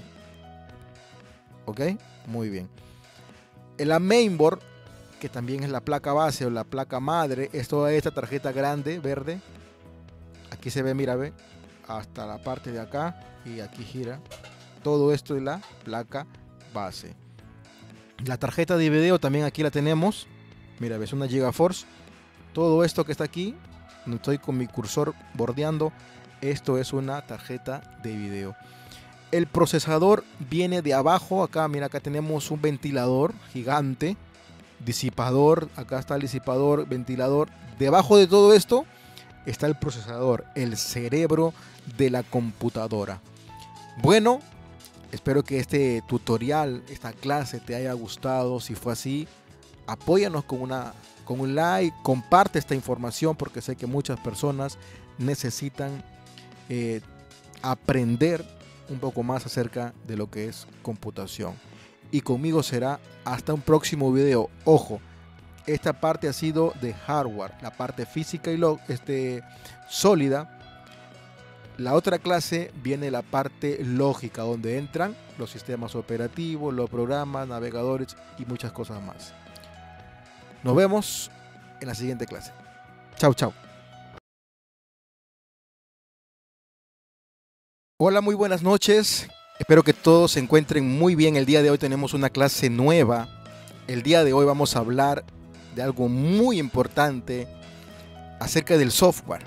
Anteriormente, en la clase pasada, hemos visto lo que es hardware, que viene a ser la parte física. ¿Ok? Es donde vienen los componentes como el disco duro, la memoria RAM, viene también lo que es este el procesador, el case, ¿ok? que era el cascarón. Todo eso lo hemos explicado en el video anterior acerca de lo que es hardware, la parte física. El día de hoy vamos a aprender lo que es software, que viene a ser la parte lógica de la computadora y está constituido por un conjunto de programas que realizan una función específica. Dentro del software tenemos tres clasificaciones, como el software de sistema, software de programación y el software de aplicación. En el software de sistema, que está constituido por programas necesarios para el funcionamiento de la computadora y sus componentes. Aquí tenemos el sistema operativo, ¿ok? Ya habíamos dicho que el sistema operativo, en ellos podemos encontrar como el Windows, podemos encontrar Linux, podemos encontrar eh, también el Mac. Tú puedes instalar un Windows, sea 10, 11, versión 8, el 7. Y dentro del sistema operativo vienen controladores. ¿Qué son los controladores o driver también conocidos? Por ejemplo, te voy a poner un ejemplo. Tú puedes tener internet, llamas a soporte, te, instalan tu internet, tu router, tienes tu cable, lo conectas a tu laptop, lo conectas a tu PC y dices, pero no tengo internet. ¿Qué pasó? Es que se requiere un controlador, un driver para el internet. Puede ser por cable, red o también puede ser por Wi-Fi. Los dos son dispositivos diferentes. No escucho. ¿Qué pasó? Se malogró mi parlante. Muchas veces el parlante está bien, pero no has instalado el controlador de audio. Y eso pasa frecuentemente cuando se formatea una computadora, se tiene que nuevamente instalar todos los controladores de video, de audio, de eh, sonido, de, de red por Wi-Fi y todos los controladores te tienen que estar instalados. Y eso lo hace una persona que se dedica a lo que es eh, el soporte técnico de computadoras. Te hablo por experiencia, me he dedicado muchos, muchos años a esto y eh, se tiene que instalar los controladores, los drivers, para que tenga un buen funcionamiento nuestro sistema operativo. Y también podemos encontrar herramientas de diagnóstico, servidores y utilidades. Además, el sistema operativo, que es un software, la parte lógica, es un conjunto de programas que actúa como intermediario, dice aquí el texto, entre el usuario y el hardware, es decir, entre nosotros y tu PC y tu laptop. El sistema operativo hace de intermediario. Entre ellos podemos encontrar en el mercado muchos tipos de sistemas operativos que se clasifican de múltiples maneras. Entre ellos el más conocido, el más común, ¿okay? el que la gran mayoría usamos, es el Windows. ¿okay? El Windows. En el Windows hay diferentes versiones, repito. Windows 10, que es el que creo que la mayoría usa. Ahora está el Windows 11, pero anteriormente usábamos el Windows 8, 8.1, el Windows 7. Después tenemos también otros como el Unix, el Linux, Solaris, DOS, Plan 9, el Mac, etcétera, etcétera. La manzanita que ves aquí en imagen, este es el sistema operativo Mac. Tú lo habrás visto en una laptop y en la parte de en medio viene la manzanita. Ese no es igual. El sistema operativo que el que tenemos en Windows. Tú estás aprendiendo aquí es porque tienes, me imagino, un sistema Windows y se te hace más fácil aprender. Pero el Mac es diferente. También el sistema operativo, la personalización también de los iconos y todo lo demás es diferente. ¿Ok? Pero si tú llegas a aprender Windows, ya vas a tener una idea de también lo que es Mac. Este va a ser también fácil. Aquí tenemos un pingüino que este viene a ser el Linux. También es otro sistema operativo. Acá tenemos, por ejemplo, el Android que viene a ser el sistema operativo para tablet, eh, para celulares también. Y tenemos aquí, habíamos dicho, el Linux, Android, el Mac y el Windows. Son sistemas operativos. Y eso está dentro del software de, habíamos dicho, del sistema. Software de sistema. Ahora veamos el software de programación. ¿Qué es el software de programación? Llamados comúnmente lenguajes de programación, son aplicaciones que utilizan para la creación de programas. Aquí vamos a subrayar esta palabra, creación de programas. Es decir, el sistema operativo tiene que ser creado me dejo entender. El sistema operativo tiene que ser creado. Todo tiene que ser creado por un software de programación. El software que utilizan eh, los bancos, que utilizan eh, también lo que es este, las boticas donde venden este, las farmacias, todos utilizan un software de programación. También lo que hacen inventario se necesita un software de programación para poder trabajar mucho mejor y ver cuántos productos tú tienes y todo lo demás. El software de programación es la parte primaria, la parte escondida. Se necesita el software de programación para crear Facebook, para crear eh, Instagram, para crear YouTube. Se necesita un software de programación. Y este software de programación utiliza, por ejemplo, el Java para crear páginas web y el PHP y todos estos programas que son códigos, como ves aquí en la parte izquierda, vienen a ser códigos.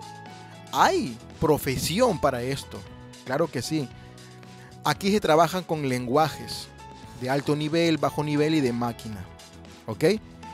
Eh, ya hemos visto el software del sistema, el software de programación y ahora vamos a ver el software de aplicación. ¿Qué es el software de aplicación? Son programas creados también para ayudar al hombre en la realización de actividades específicas.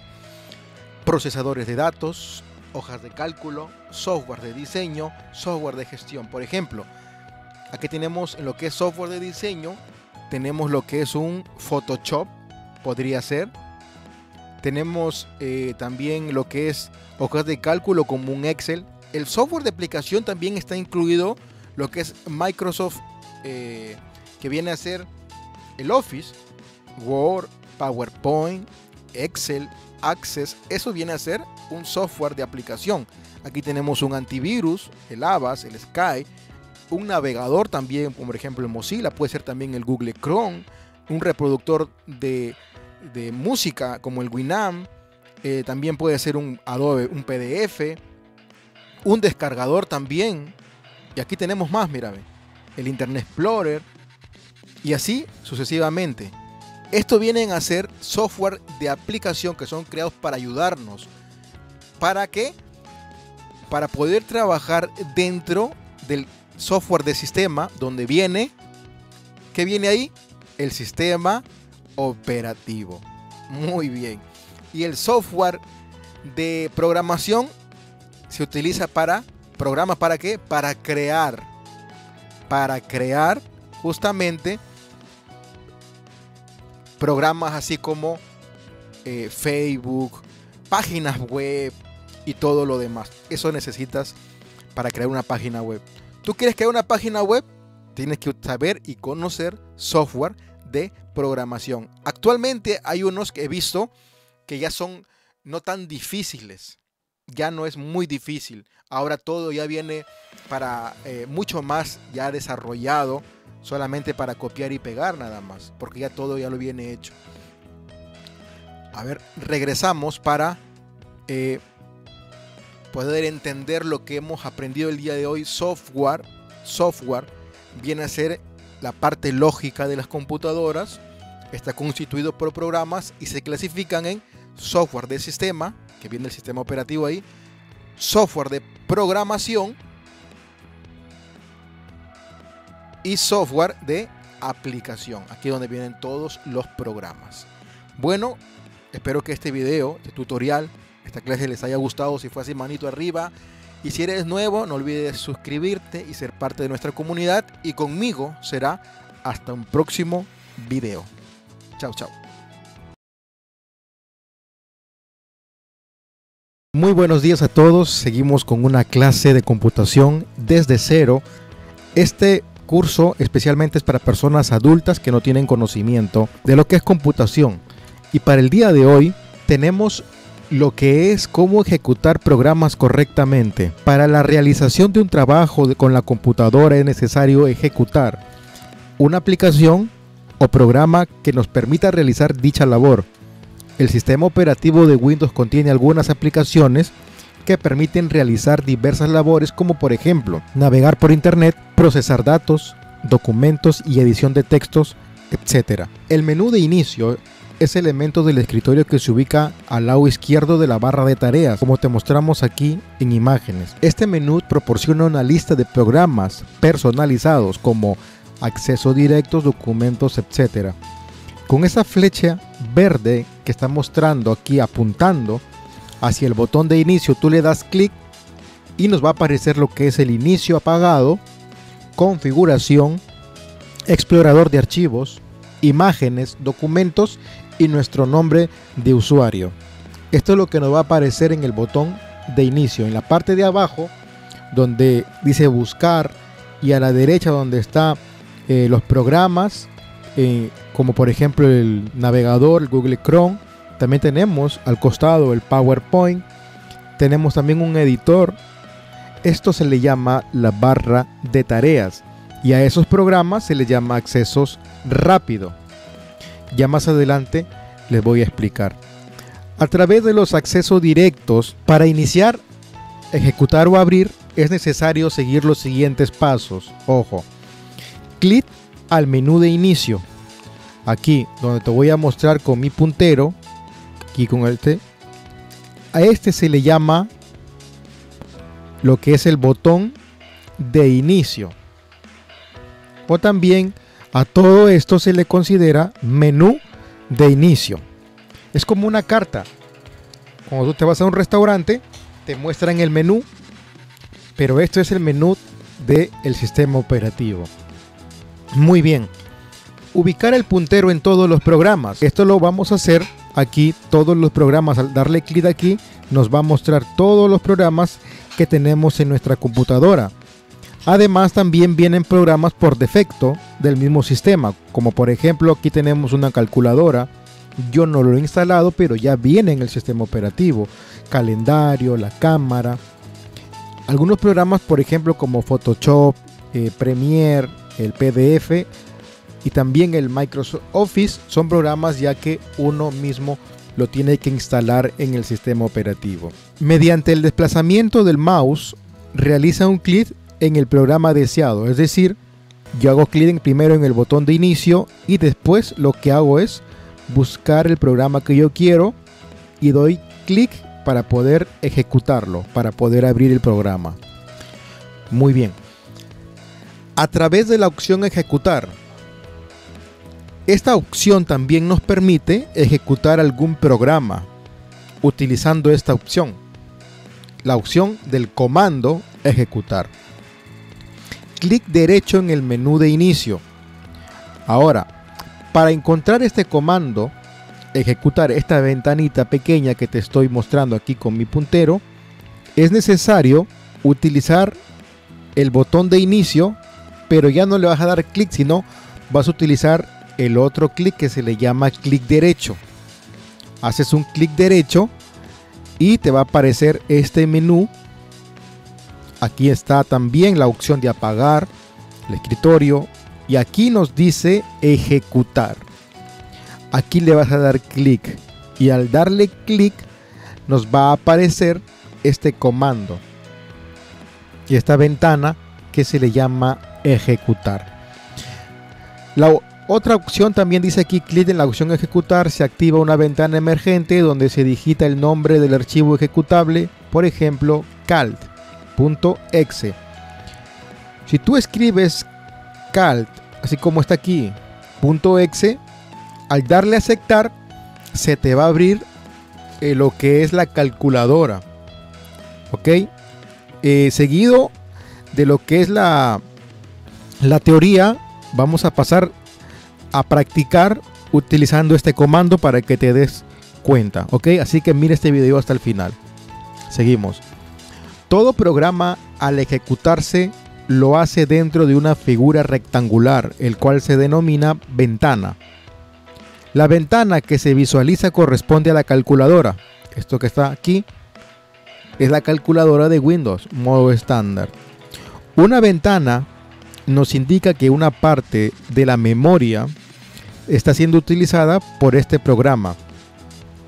Mientras más programas, es decir, más ventanas también o programas estén abiertos, más memoria, la memoria RAM, que es la que se encarga de darle velocidad a nuestro computador, eh, va a ser más utilizada. Y por ende, se va a poner un poco más pesado dependiendo de la capacidad de tu computador. Por esta razón el número de programas que se puede abrir y ejecutar de forma simultánea, es decir, seguido, dependerá de cuánta memoria dispone tu computadora. Si tienes una computadora gamer, una computadora que, que tiene buenos requisitos en disco duro, procesador, memoria RAM, vas a abrir muchas ventanas y no vas a ver la diferencia. Nombre de archivos ejecutables. Ahora vamos a mencionar algunos nombres archivos ejecutables que más se utilizan. Por ejemplo, el explorer.exe. Al abrir nos va a aparecer el explorador de Windows. Donde colocamos el explorer.exe? Aquí en nuestro comando ejecutar. Muy bien. WinWord.exe. Esto nos abre Microsoft Word. Nos abre el Microsoft Word. Excel.exe nos abre Excel. El Notepad.exe nos va a abrir un blog de notas. El eXplorer.exe nos abre el Internet Explorer. Y el taskmgr.exe nos va a abrir el administrador de tareas. A esto se le llama archivo y a esto se le llama la aplicación. ¿Ok? Muy bien. Además, hemos agregado algunos archivos que puedes también utilizar en lo que es Microsoft. Eh, por ejemplo, tenemos aquí el Word, ¿no? que era el, el WinWord.exe, el PowerPoint. Colocas powerpnt.exe, abres el PowerPoint, igual con Excel. Access también, msaccess.exe. Si quieres abrir el Paint, mspaint.exe, configuración del sistema msconfig y archivos temporales que te voy a mostrar en adelante cómo puedes eh, limpiar también tu computador borrando estos archivos temporales utilizando el tmp eh, en tu comando ejecutar. Así que vamos a entrar a practicar y a utilizar nuestro comando ejecutar. Aquí estamos ya en nuestro escritorio para hacer la práctica y poder utilizar nuestros comandos, eh, nuestros archivos y poder abrir eh, nuestros programas. Tenemos aquí en la parte izquierda, habíamos dicho, el botón de inicio. Vamos a dar clic y aquí nos abre el menú de inicio con diferentes programas. Por ejemplo, tenemos aquí el Photoshop. Acá con esta flechita hacia abajo es para poder desplegar y aquí encontramos el programa al darle clic se abre nuestro programa. ¿Ok? Muy bien. Ahora, eh, de paso, si tú quisieras poner este programa en el escritorio como acceso directo, a este programa le das clic derecho, te vas a la opción más, abrir ubicación de archivo, vamos a dar clic y aquí lo vamos a encontrar nuestro programa. Acá lo único que vamos a hacer simplemente es darle clic derecho y crear acceso directo. Windows no puede crear acceso directo aquí. ¿Desea colocar el acceso directo en el escritorio? Sí. Tenemos que colocarlo en el escritorio. Yo lo quería poner aquí, pero ya está. Entonces, lo vamos a colocar en el escritorio y aquí ya tenemos nuestro programa Adobe Photoshop. Muy bien, aunque ya lo teníamos ya. Ahora vamos a darle suprimir para poder borrar. Muy bien, aquí tenemos todo. Vamos a desplegar con nuestro scroll. El scroll o también puedes eh, ir bajando. Muy bien. Aquí se está abriendo nuestro programa Adobe Photoshop. Vamos a minimizar. muy bien. Y aquí tenemos todos los programas que se están instalados en nuestro computador. Acá tenemos el Office, PowerPoint, tenemos acá Access y algunos programas más. Ahora, si tú das en el botón de inicio clic derecho, clic derecho, aquí nos va a aparecer el comando ejecutar. Vamos a dar clic y aquí tenemos en esta ventana emergente lo que dice Escribe el nombre del programa, carpeta o documento o recurso de internet que desea abrir con Windows. Habíamos dicho, vamos a ver, win word.exe. Damos a aceptar y en este momento se está cargando Word. Ahí lo tenemos. Se está cargando lo que es Word. Vamos a cerrar. Si queremos abrir lo que es PowerPoint, igual damos clic derecho, ejecutar y escribimos power pnt.exe. Damos a aceptar y se nos abre PowerPoint. Ahora, lo que yo les había comentado acerca para poder limpiar carpetas temporales o archivos temporales que se convierten como una basurita en el mismo sistema, escribes acá lo que es este signo, que es el Shift con el 5 te va a aparecer esto en mi teclado, aparece así, TMP, y así lo colocamos. Damos a aceptar y ahora nos van a aparecer muchos archivos temporales que se convierten como una basurita que tú lo puedes eliminar. Vamos a dar control más E para seleccionar todo, damos suprimir para poder eh, borrar. Damos continuar, pero así se va limpiando y lo, último que harías es acá en la papelera de reciclaje, clic derecho, vaciar papelera de reciclaje para que quede aún más limpio. Y ahora sí, ya está, tu computadora va a estar más ligero, presionas F5, actualizas y así, muy bien. Ahora, si tú no quieres abrir el botón de inicio y quieres ir directo al comando ejecutar, también hay una opción. Presionando la tecla Windows más R, Windows más R, te va a aparecer también el comando ejecutar, sin irte acá, a lo que es el botón de inicio. Solo con tu teclado Windows más R te va a aparecer el comando ejecutar. Muy bien, y hay muchas, muchas opciones de archivos. Por ejemplo, también este ms config. Esto es para la configuración del sistema en lo que es arranque, por ejemplo, acá te viene 30, yo le pongo 3 segundos para poder agilizar al momento de prender la computadora y que encienda, corre más rápido.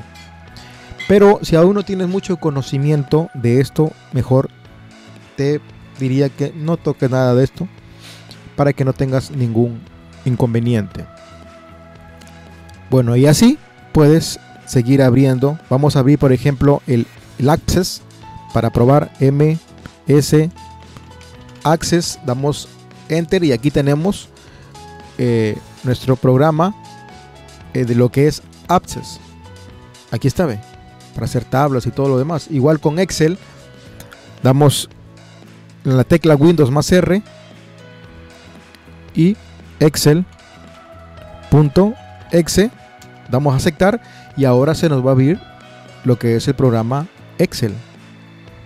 Ya está. Vamos a dar clic aquí y aquí lo tenemos. Bueno, espero que este tutorial te haya servido, te haya gustado. Si fue así, manito arriba, no te olvides de suscribirte, compartir también con personas que también eh, quisieran también tener conocimiento de computación. Tenemos muchos videos, muchas clases desde lo básico y también hay otros que ya van un poquito más avanzado. Tómate tu tiempo, practícalo y bueno, conmigo será hasta un próximo video. Chao, chao. Hola, ¿qué tal? ¿Cómo estás? Espero que muy bien. Seguimos con una nueva clase, un nuevo tutorial de cómo aprender computación desde cero. El día de hoy vamos eh, a aprender acerca de las ventanas. ¿Qué son las ventanas? Las ventanas son los objetos básicos con los que se trabaja en Windows. Cada tarea, abrir, ejecutar, explorar, configurar, etcétera, que se apertura en Windows. Se realiza sobre una ventana. Se pueden ejecutar varias tareas, en consecuencia, tener múltiples ventanas sin tener que finalizar ninguna de ellas. En imágenes estás viendo eh, las ventanas que están abiertas. Eh, por ejemplo, tenemos lo que es una calculadora, un comando ejecutar. Tenemos también lo que es eh, el equipo. Aquí te muestro con mi puntero. Hemos también abierto lo que es el, el Paint o Paint y un WordPad.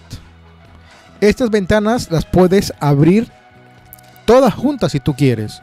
O también puedes minimizar o cerrarlas también o maximizar que luego te voy a ir enseñando paso a paso.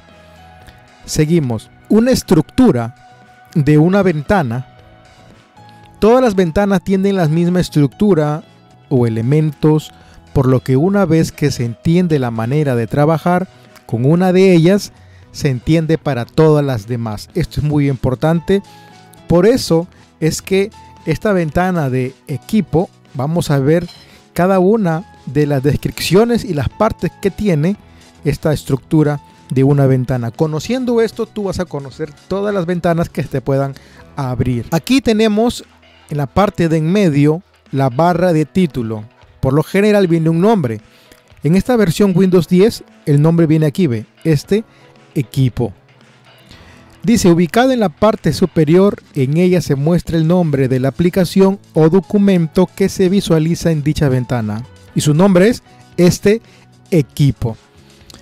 Botones de control. Aquí está en la parte derecha de arriba. Dice conformado por los botones que permiten minimizar, maximizar, restaurar y cerrar la ventana. Este puntito como un guion es para minimizar. Al darle clic, la ventana se minimiza y se localiza en la barra de tareas. Y esta que es para maximizar, lo que hace es agrandar la ventana a toda la pantalla. Y esta X es el botón de cerrar la ventana. Al darle clic se cerraría completamente la ventana. Muy bien, seguimos. En la parte izquierda vemos lo que es el menú de control. Dice figura ubicada en la esquina superior izquierda que al realizar un clic muestra opciones como restaurar, mover, tamaño, minimizar, maximizar y cerrar. Aquí al darle un clic eh, derecho te va a mostrar esas opciones. Barra de menú. Lista de palabras que contienen comandos cada palabra se identifica como menú, archivo, edición, etc. Y aquí nos está mostrando el nombre de archivo, equipo, vista y en algunos casos en otras ventanas te aparecería más, pero a esto se le llama barra de menú. Barra de herramientas en lo que está aquí en la parte de abajo. Aquí en la parte de abajo donde muestra la flecha se llama barra de herramientas. Grupo de botones que permiten realizar múltiples acciones de forma inmediata. Y esta parte de acá abajo, que está aquí donde viene acceso rápido de stock, download, documentos, escritorio, todo esto se le llama la zona descriptiva. Muestra tareas que se pueden realizar sobre el equipo o un elemento seleccionado. Tú das clic aquí, por ejemplo, abres este disco D, disco local C, videos, todo lo que ves aquí en imágenes. Y en la parte de abajo vemos la barra de estado. Dice muestra el estado actual de la ventana. Aquí está abierto o hay 10 elementos. Esta es la barra de estado, lo que viene aquí en la parte de abajo. Y todo lo que está aquí adentro, carpetas, unidades locales, quizás tengas también una lectora o un USB, todo lo que está aquí se le llama área de trabajo, zona que muestra el contenido o donde se desarrolla el programa. Todo esto es una estructura de una ventana. Muy bien. Tipos de ventana. Al trabajar con Windows se puede diferenciar tres tipos de ventanas. Algunos diferencian cuatro.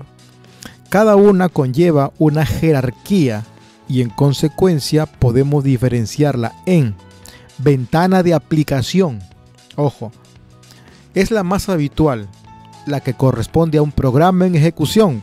Por ejemplo, aquí tenemos abierto un documento de un programa WordPad. Es casi similar a, a lo que es, pero en la forma básica de un Word, de un Microsoft Word, que también vendría a ser una ventana de aplicación. Dice, y por lo tanto un botón en la barra de tareas, ejemplo un bloc de notas también, un WordPad, un WordPad o puede ser también un, un Microsoft Word, Office, Excel, a eso se le considera ventana de aplicación.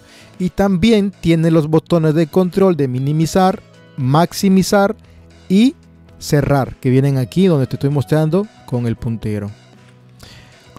Además también otro tipo de ventana que vemos aquí un cuadro de diálogo. Por ejemplo, tú escribes en este documento, escribes algo y si tú quieres, por ejemplo, darle cerrar, te va a aparecer otra ventana pequeña que te va a decir desea guardar los cambios a documento, te va a aparecer guardar, no guardar o cancelar. A esto se le llama una ventana de cuadro de diálogo. Dice que son ventanas que carecen de los botones maximizar, no vienen estos de acá, que es una ventana de aplicación, no trae, ni minimizar, presentando solo el botón de cerrar, aceptar, cancelar o ayuda. Solamente viene aquí para cancelar, pero no trae minimizar ni maximizar. ¿Ok? Bueno, seguimos operaciones con ventanas con el mouse. Las ventanas pueden ser manipuladas para adaptarse al trabajo del usuario. Minimizar y ocultar. Acción que consiste en ocultar la ventana del escritorio y conservar solo un botón en la barra de tareas con el nombre de la aplicación o programa. Y aquí te muestro la ventana en el escritorio que hemos abierto con en la parte del reglón o de un guion es minimizar. Después de la teoría vamos a entrar a la práctica y te voy a enseñar cómo lo puedes realizar. También tenemos lo que es el botón de cerrar. Aquí te muestro en el botón rojito que ves aquí como una X. A eso se le llama el botón de cerrar. Acción que consiste en eliminar la ventana del escritorio y del botón con el nombre de la aplicación o programa existente en la barra de tareas. Tú al cerrarlo ya no te va a aparecer en la parte de abajo de la barra de tareas. Restaurar o maximizar. Es aquí en la parte de en medio, el botón que hay como un cuadrito. A esto se le llama maximizar. Yo doy clic y la ventana se abre en todo el escritorio. Acción que se utilizan para redimensionar la ventana o restaurado o ampliar su tamaño. Como les digo, amplía el tamaño en todo el escritorio. Es decir, al darle maximizar, esta ventana se va a ver en todo, todo el escritorio. Ahora, operaciones con ventanas con el teclado.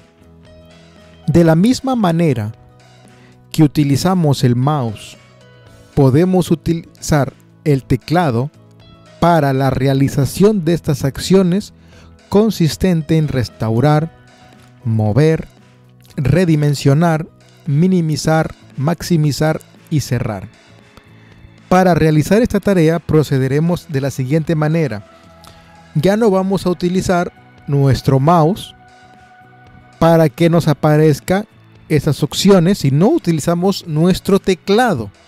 También lo puedes hacer con una combinación de teclas de la tecla Alt en tu teclado que está justamente al costado de la barra espaciadora, que es una tecla grande, es la tecla más grande, larga, que está en la parte de abajo, y al costado izquierdo hay una tecla Alt. Presionas Alt juntamente con barra espaciadora, es decir, con tus dos dedos juntos en las dos teclas y en una ventana te va a aparecer esta opción que vemos aquí, mover, tamaño, minimizar, maximizar o cerrar.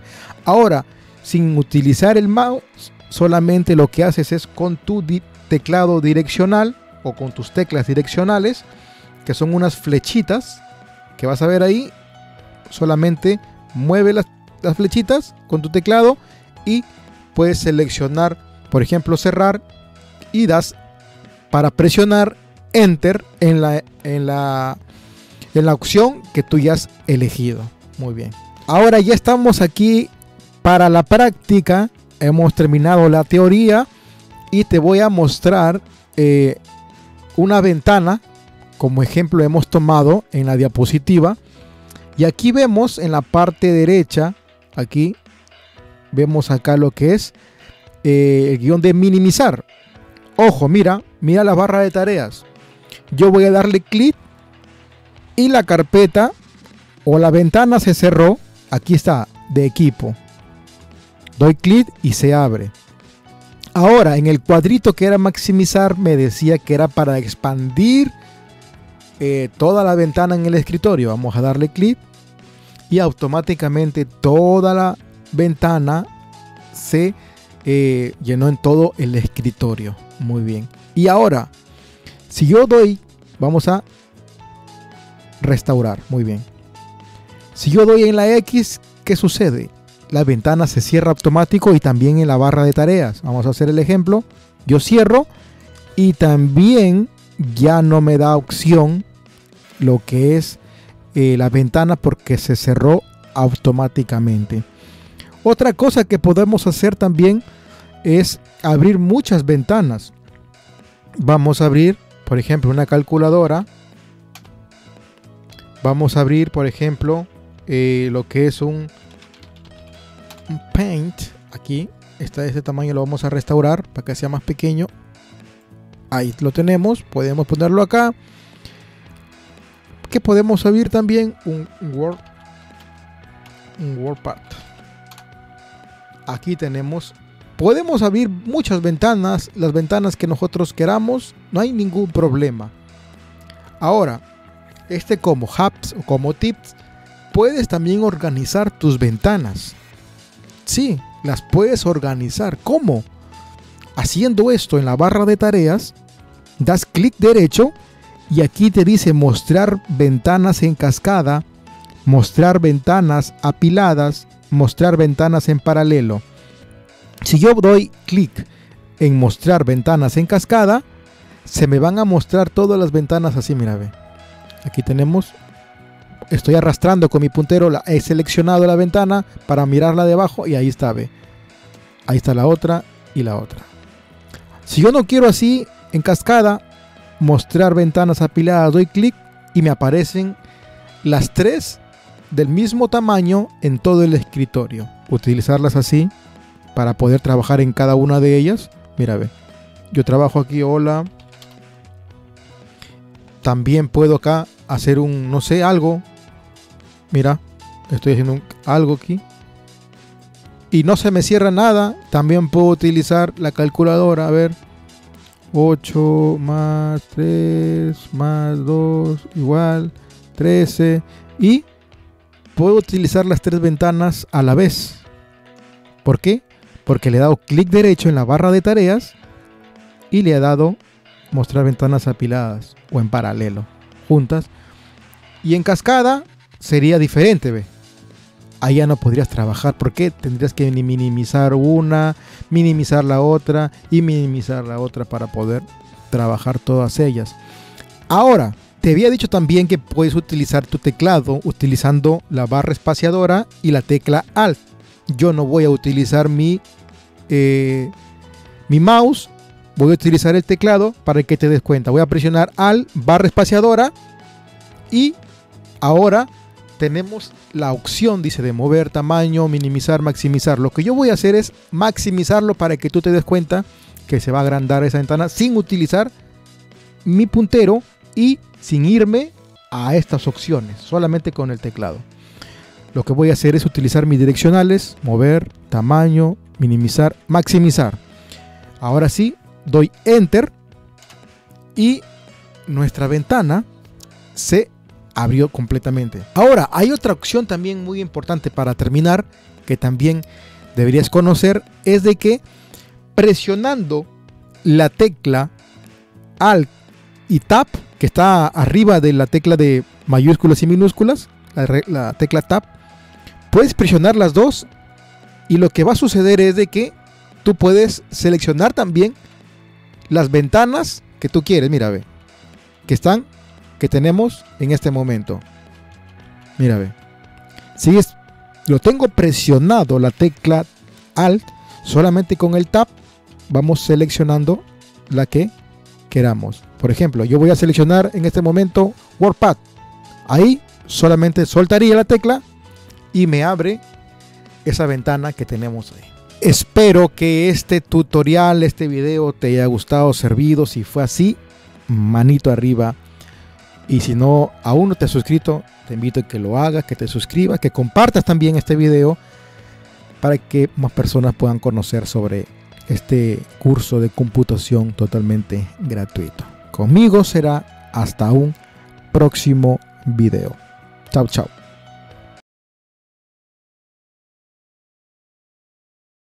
Aprender computación nunca fue tan fácil con este curso totalmente gratuito. Va dirigido especialmente para personas adultas que quieren aprender, que tienen ganas de este conocimiento, de esta tecnología. El día de hoy vamos a aprender qué son los almacenamientos de archivos. Toda información, sea documentos, imágenes, programas, etcétera, que se maneja o procesa en la computadora ocupa un espacio. En consecuencia, se determina su tamaño y el dispositivo físico que lo va a almacenar de forma permanente o puede ser también temporal. Para entender sobre cómo se almacena y qué espacio ocupa la información dentro de la computadora, será necesario recordar algunos datos. Aquí tenemos lo que es el bit. El bit es una unidad mínima de almacenamiento. Es el acrónimo de dígito binario. Un bit es un dígito del sistema de numeración binario que se usa solamente dos dígitos, es decir, 1 y el 0. La computadora es un equipo electrónico, eso lo tenemos muy claro. Y para funcionar, enciende o apaga circuitos eléctricos de acuerdo a sus necesidades. Cuando un circuito está encendido, el valor es 1 y cuando está apagado, su valor es 0. A esto se le conoce como lenguaje de máquina. Y el bit es una unidad básica de almacenamiento de información, es considerado por una secuencia de 8 bits. Es decir, el bit es cuando está encendido 1 y cuando está apagado 0, sea 1 y 0. Y el bit de la parte de abajo vienen a ser 8 bits de arriba. Y este ejemplo para representar son los caracteres. Entre ellos encontramos las letras. Por ejemplo, cuando tú escribes hola, eh, son caracteres y vienen eh, en lenguaje de máquina por dígitos, sea 1 o sea 0. Muy bien. Vienen letras, dígitos, espacio en blanco, inclusive cuando tú das un espacio en blanco, también utilizas caracteres o símbolos o signos. Y aquí como en la imagen que te he puesto de ejemplo, un bit, esta parte de aquí, un bit representa, es igual a 8 bits, ¿ok? De la parte de arriba. Y aquí tenemos una secuencia, 0, 1, 1, 0. Aquí son 4, 1, 1, 1, 0 son 4.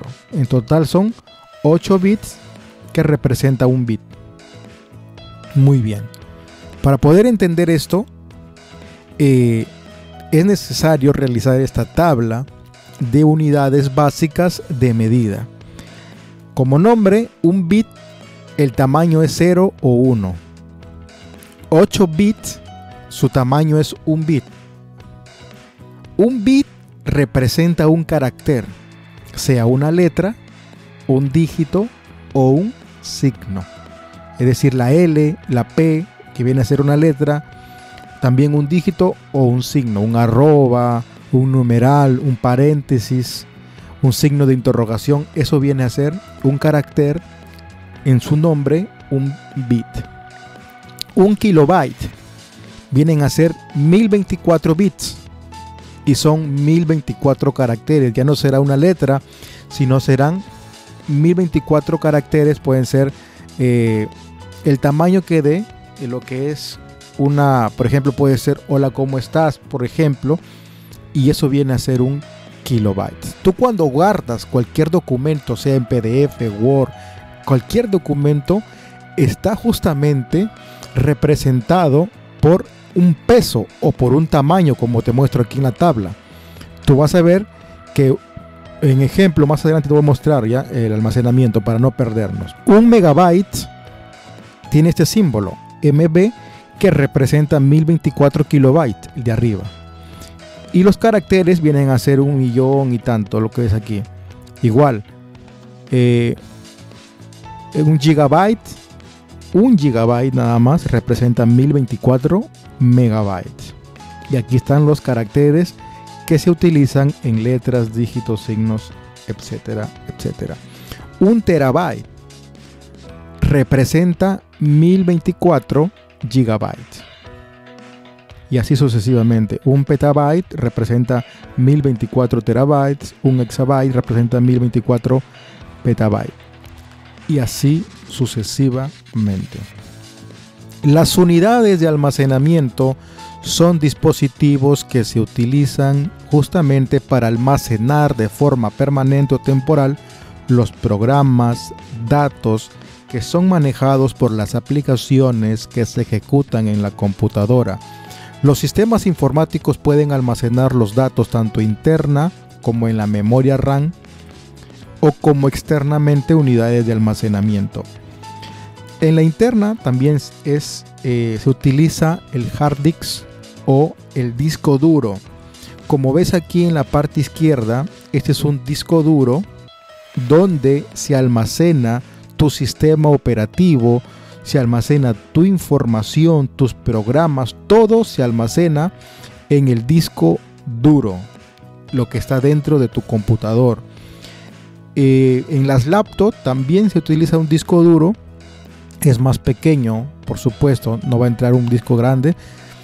Últimamente vienen ya los que se llaman los discos sólidos, que son más rápidos también, pero también ahí donde se almacena y donde se instalan el sistema operativo como el Windows 8, Windows 10, Windows 11. El disco duro es el dispositivo magnético que almacena la información de forma permanente.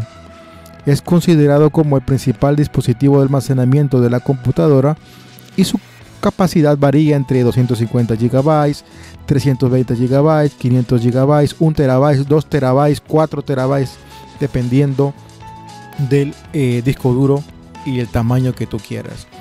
Ahora, eh, supongamos que este disco duro tiene un terabyte, ¿verdad? Un terabyte. Y un terabyte representa, habíamos visto, aquí ve, un terabyte representa 1024 gigabytes. 1024 gigabytes. Eso es lo, lo que representa un terabyte. El floppy disk o también llamado comúnmente como el disquete, ya no se usa. Anteriormente se usaba el disquete. Era un dispositivo también de almacenamiento magnético cuya capacidad era de 1.44 megabytes. Al tener este almacenamiento 1.44 megabytes, en la tabla quería decir, a ver, megabyte representaba un megabyte un megabyte representaba 1024 kilobytes. Esto era el tamaño de un megabyte. Las memorias flash o las también llamadas comúnmente memoria USB, creo que todos utilizan una memoria USB porque es mucho más fácil de guardar información y trasladarlo a, tu trabajo, tu universidad, tu escuela, donde tú quieras, lo puedes llevar esa información Ahora también hay tamaños.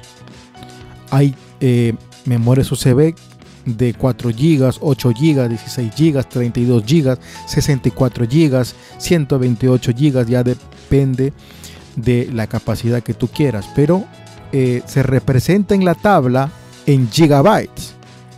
Gigabytes, ¿ok? Un gigabyte, recuerda, tiene 1024 megabytes y estos son los caracteres donde ocupa es decir, vamos a suponer como un ejemplo, tienes una memoria USB de 4 GB nada más, pequeña, 4 GB. Dentro de esos 4 GB, tú vas a almacenar información, pueden ser videos, música, texto, en Word, en PDF.